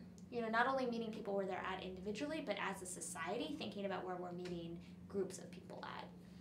That makes sense. And I just want to touch on something that's come up quite a bit in talking about prison experiences, something I have personal experience with. Mhm. And I have to say that the meager benefits of, of a prison system, and so there are these reports of people finding recovery in prison.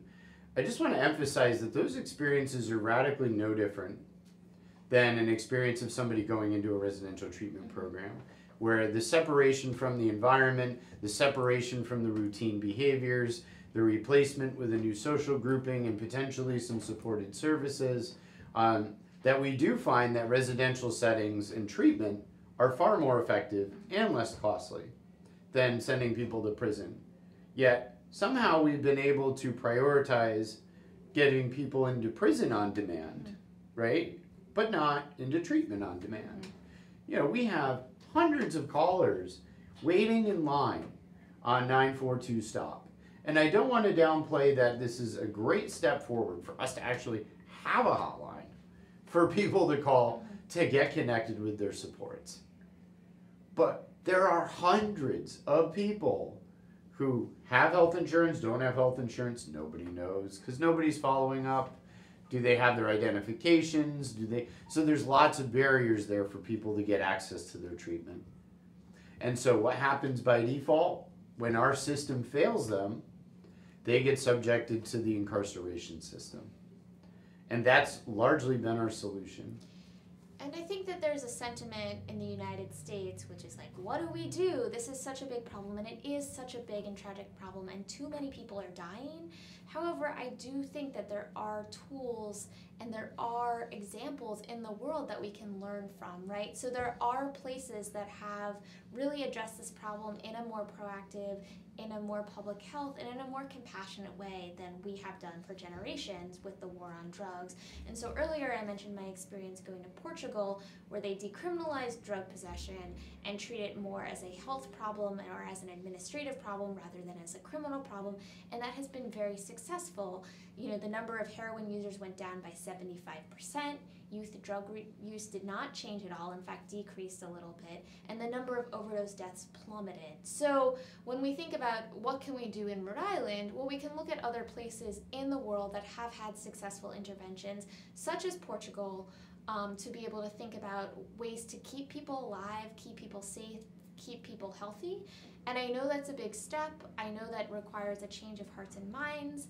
That requires just a whole different analysis of this issue. However, we do have solutions out there. We just need to we need to be brave enough to access those solutions. Yeah, I, I feel that we very much, you know, we've felt challenged as a society in our morality. Mm-hmm. And I just want to encourage people to be bold in challenging the assumption that this is a moral issue. You know, we have seen solutions. You mentioned Portugal. Switzerland did an incredible job of providing legal regulated access to heroin and saw a 50% reduction in the heroin use across their country. You know, the work of Dr. Brandon Marshall, I referenced earlier, I wanted to talk about a little bit. Um, he's a professor of epidemiology at Brown School of Public Health. Uh, he came from Vancouver, Canada, where he uh, was part of a team that uh, oversaw the services at a place called Insite, which is a medically supervised safe consumption center. And I just want to emphasize that in medically supervised safe consumption centers, not only in Vancouver, but everywhere in the world where they exist, there has never been a death from an overdose within the walls of a safe consumption center anywhere in the world ever in the history of these facilities. So you want to talk about a certain cure, you get 100% of people into safe consumption centers, you get 100% reduction in death from overdose. So I just want to make sure there's a clear line drawn there. So then it becomes a question of how do we get them into safe consumption centers? And I just want to touch on a little bit of the critique of that because I talked to Brandon Marshall about some of the criticisms that have emerged, like most controversial and cutting edge programs, people had felt very strongly about the concentration of resources and how they felt there was more people struggling with addiction there. And what the study that they produced actually found something that was quite quite to the contrary, that people who are utilizing safe consumption ser- services were more than were twice as likely to initiate recovery efforts from that setting than people who are left at large in the general population. And just in a kind of an anecdotal conversation between uh, Dr. Brandon Marshall and myself in a recent strategy meeting, uh, we had talked about kind of informally what the neighborhood conditions were like, and I had asked him, you know, about how he felt that had changed during the course of, of Insite's presence in the community. And he said, well, yes, as outsiders have come in, they've made great comment about the, the conditions of the neighborhood, but boy, if you would have seen it before we put this thing there, there is no comparison. It is significantly better now than it was then. And the only genuine criticism that would be sensible is to have a distribution of resource that's widely spread and not singularly concentrated. And we just know that that's good public policy. We don't put all the poor people who need to live in subsidized housing in one place. We spread them out, right? Because we know that community reintegration is helpful, right? So just being thoughtful about that. I definitely want to say that I look forward to having future conversations about uh, supervised safe consumption and the underlying legal barriers that we've experienced, you know, particularly criminalization, to being able to deliver these services in our communities. And I think that gets to a point that the things that are some of the things that are evidence based have many of those these barriers. Legal barriers moralistic barriers values barriers political barriers. And those barriers are real and we're at a point where we need to try to overcome those barriers. And so i encourage um, our legislators um, our governor to learn more about those and to think about ways in which we can overcome those barriers literally to save lives So I definitely want to just kind of strongly assert as we're kind of coming down to the end of our segment here that the resounding message that I hope the governor hears from this, and as it was raised through the harm reduction work group, there was virtually unanimous support for a formal recommendation. Somehow that was not heard when we moved into the, the full task force meeting on Wednesday, but it was voiced by Michelle McKenzie at that meeting that we most certainly want to see the governor exercise prudent judgment and that the best answer to this legislative effort is a veto. Yeah, I encourage the governor to stand with the medical community, to stand with public health experts who literally sit around your overdose task force, to stand with people who have lived experience with substance use disorder, to stand with people who are in recovery, um, to hear the resounding message um, to veto this legislation, and to work with everyone at the table towards better legislation that can address its intended cause and actually try and keep people alive. Super. I'm gonna jump in here for a second. Thank you very, very much. Yeah. I'll meet you guys outside in just a minute. I'm gonna just, because I'm gonna get political here for a second. And I'll spare you guys that. Joe, we're still live, right? So I'm gonna make an appeal. If you happen to see the show tonight, if you see the show over the weekend, if you see clips of the show, the governor is embroiled in a very challenging election season. There are many alternatives to elect a governor other than Gina Raimondo. There are times when litmus tests are and aren't acceptable. This is certainly a time when one is. If folks in the recovery community, folks of good spirit, folks of goodwill, folks who had family members or currently have family members, loved ones, friends, business associates who are in the throes of addiction, with blessings, they may be in, in, in a variety of levels of recovery. This governor needs to hear politely, loudly and clearly, that this bill must be vetoed. There are a few times in the 15 or 20 years I've been following politics here in Rhode Island when I've seen a unanimity in such a different and varying groups, of political groups, professional groups, over a single issue. And this is the only one. Whether it have been tolls, baseball stadiums, legalizing cannabis, lots of people have lots of different opinions. Medical community, the caregiving community, the support community, the recovery community, and significant parts of the legal community all agree that this legislation is terrible. People will die. People will die unnecessarily. People who might have had an opportunity to engage in recovery will lose that chance. People will go to prison. families will be destroyed. On a secondary basis, our economy will suffer, taxes will rise. We will engage in different types of health, public health crises because of the fear of recrimination, where people simply won't engage with whatever recovery facilities we do have. The governor has an opportunity to do the right thing. Governor has an opportunity to be a hero here. This does not preclude additional conversation next year on these issues. It does not preclude healthy debate.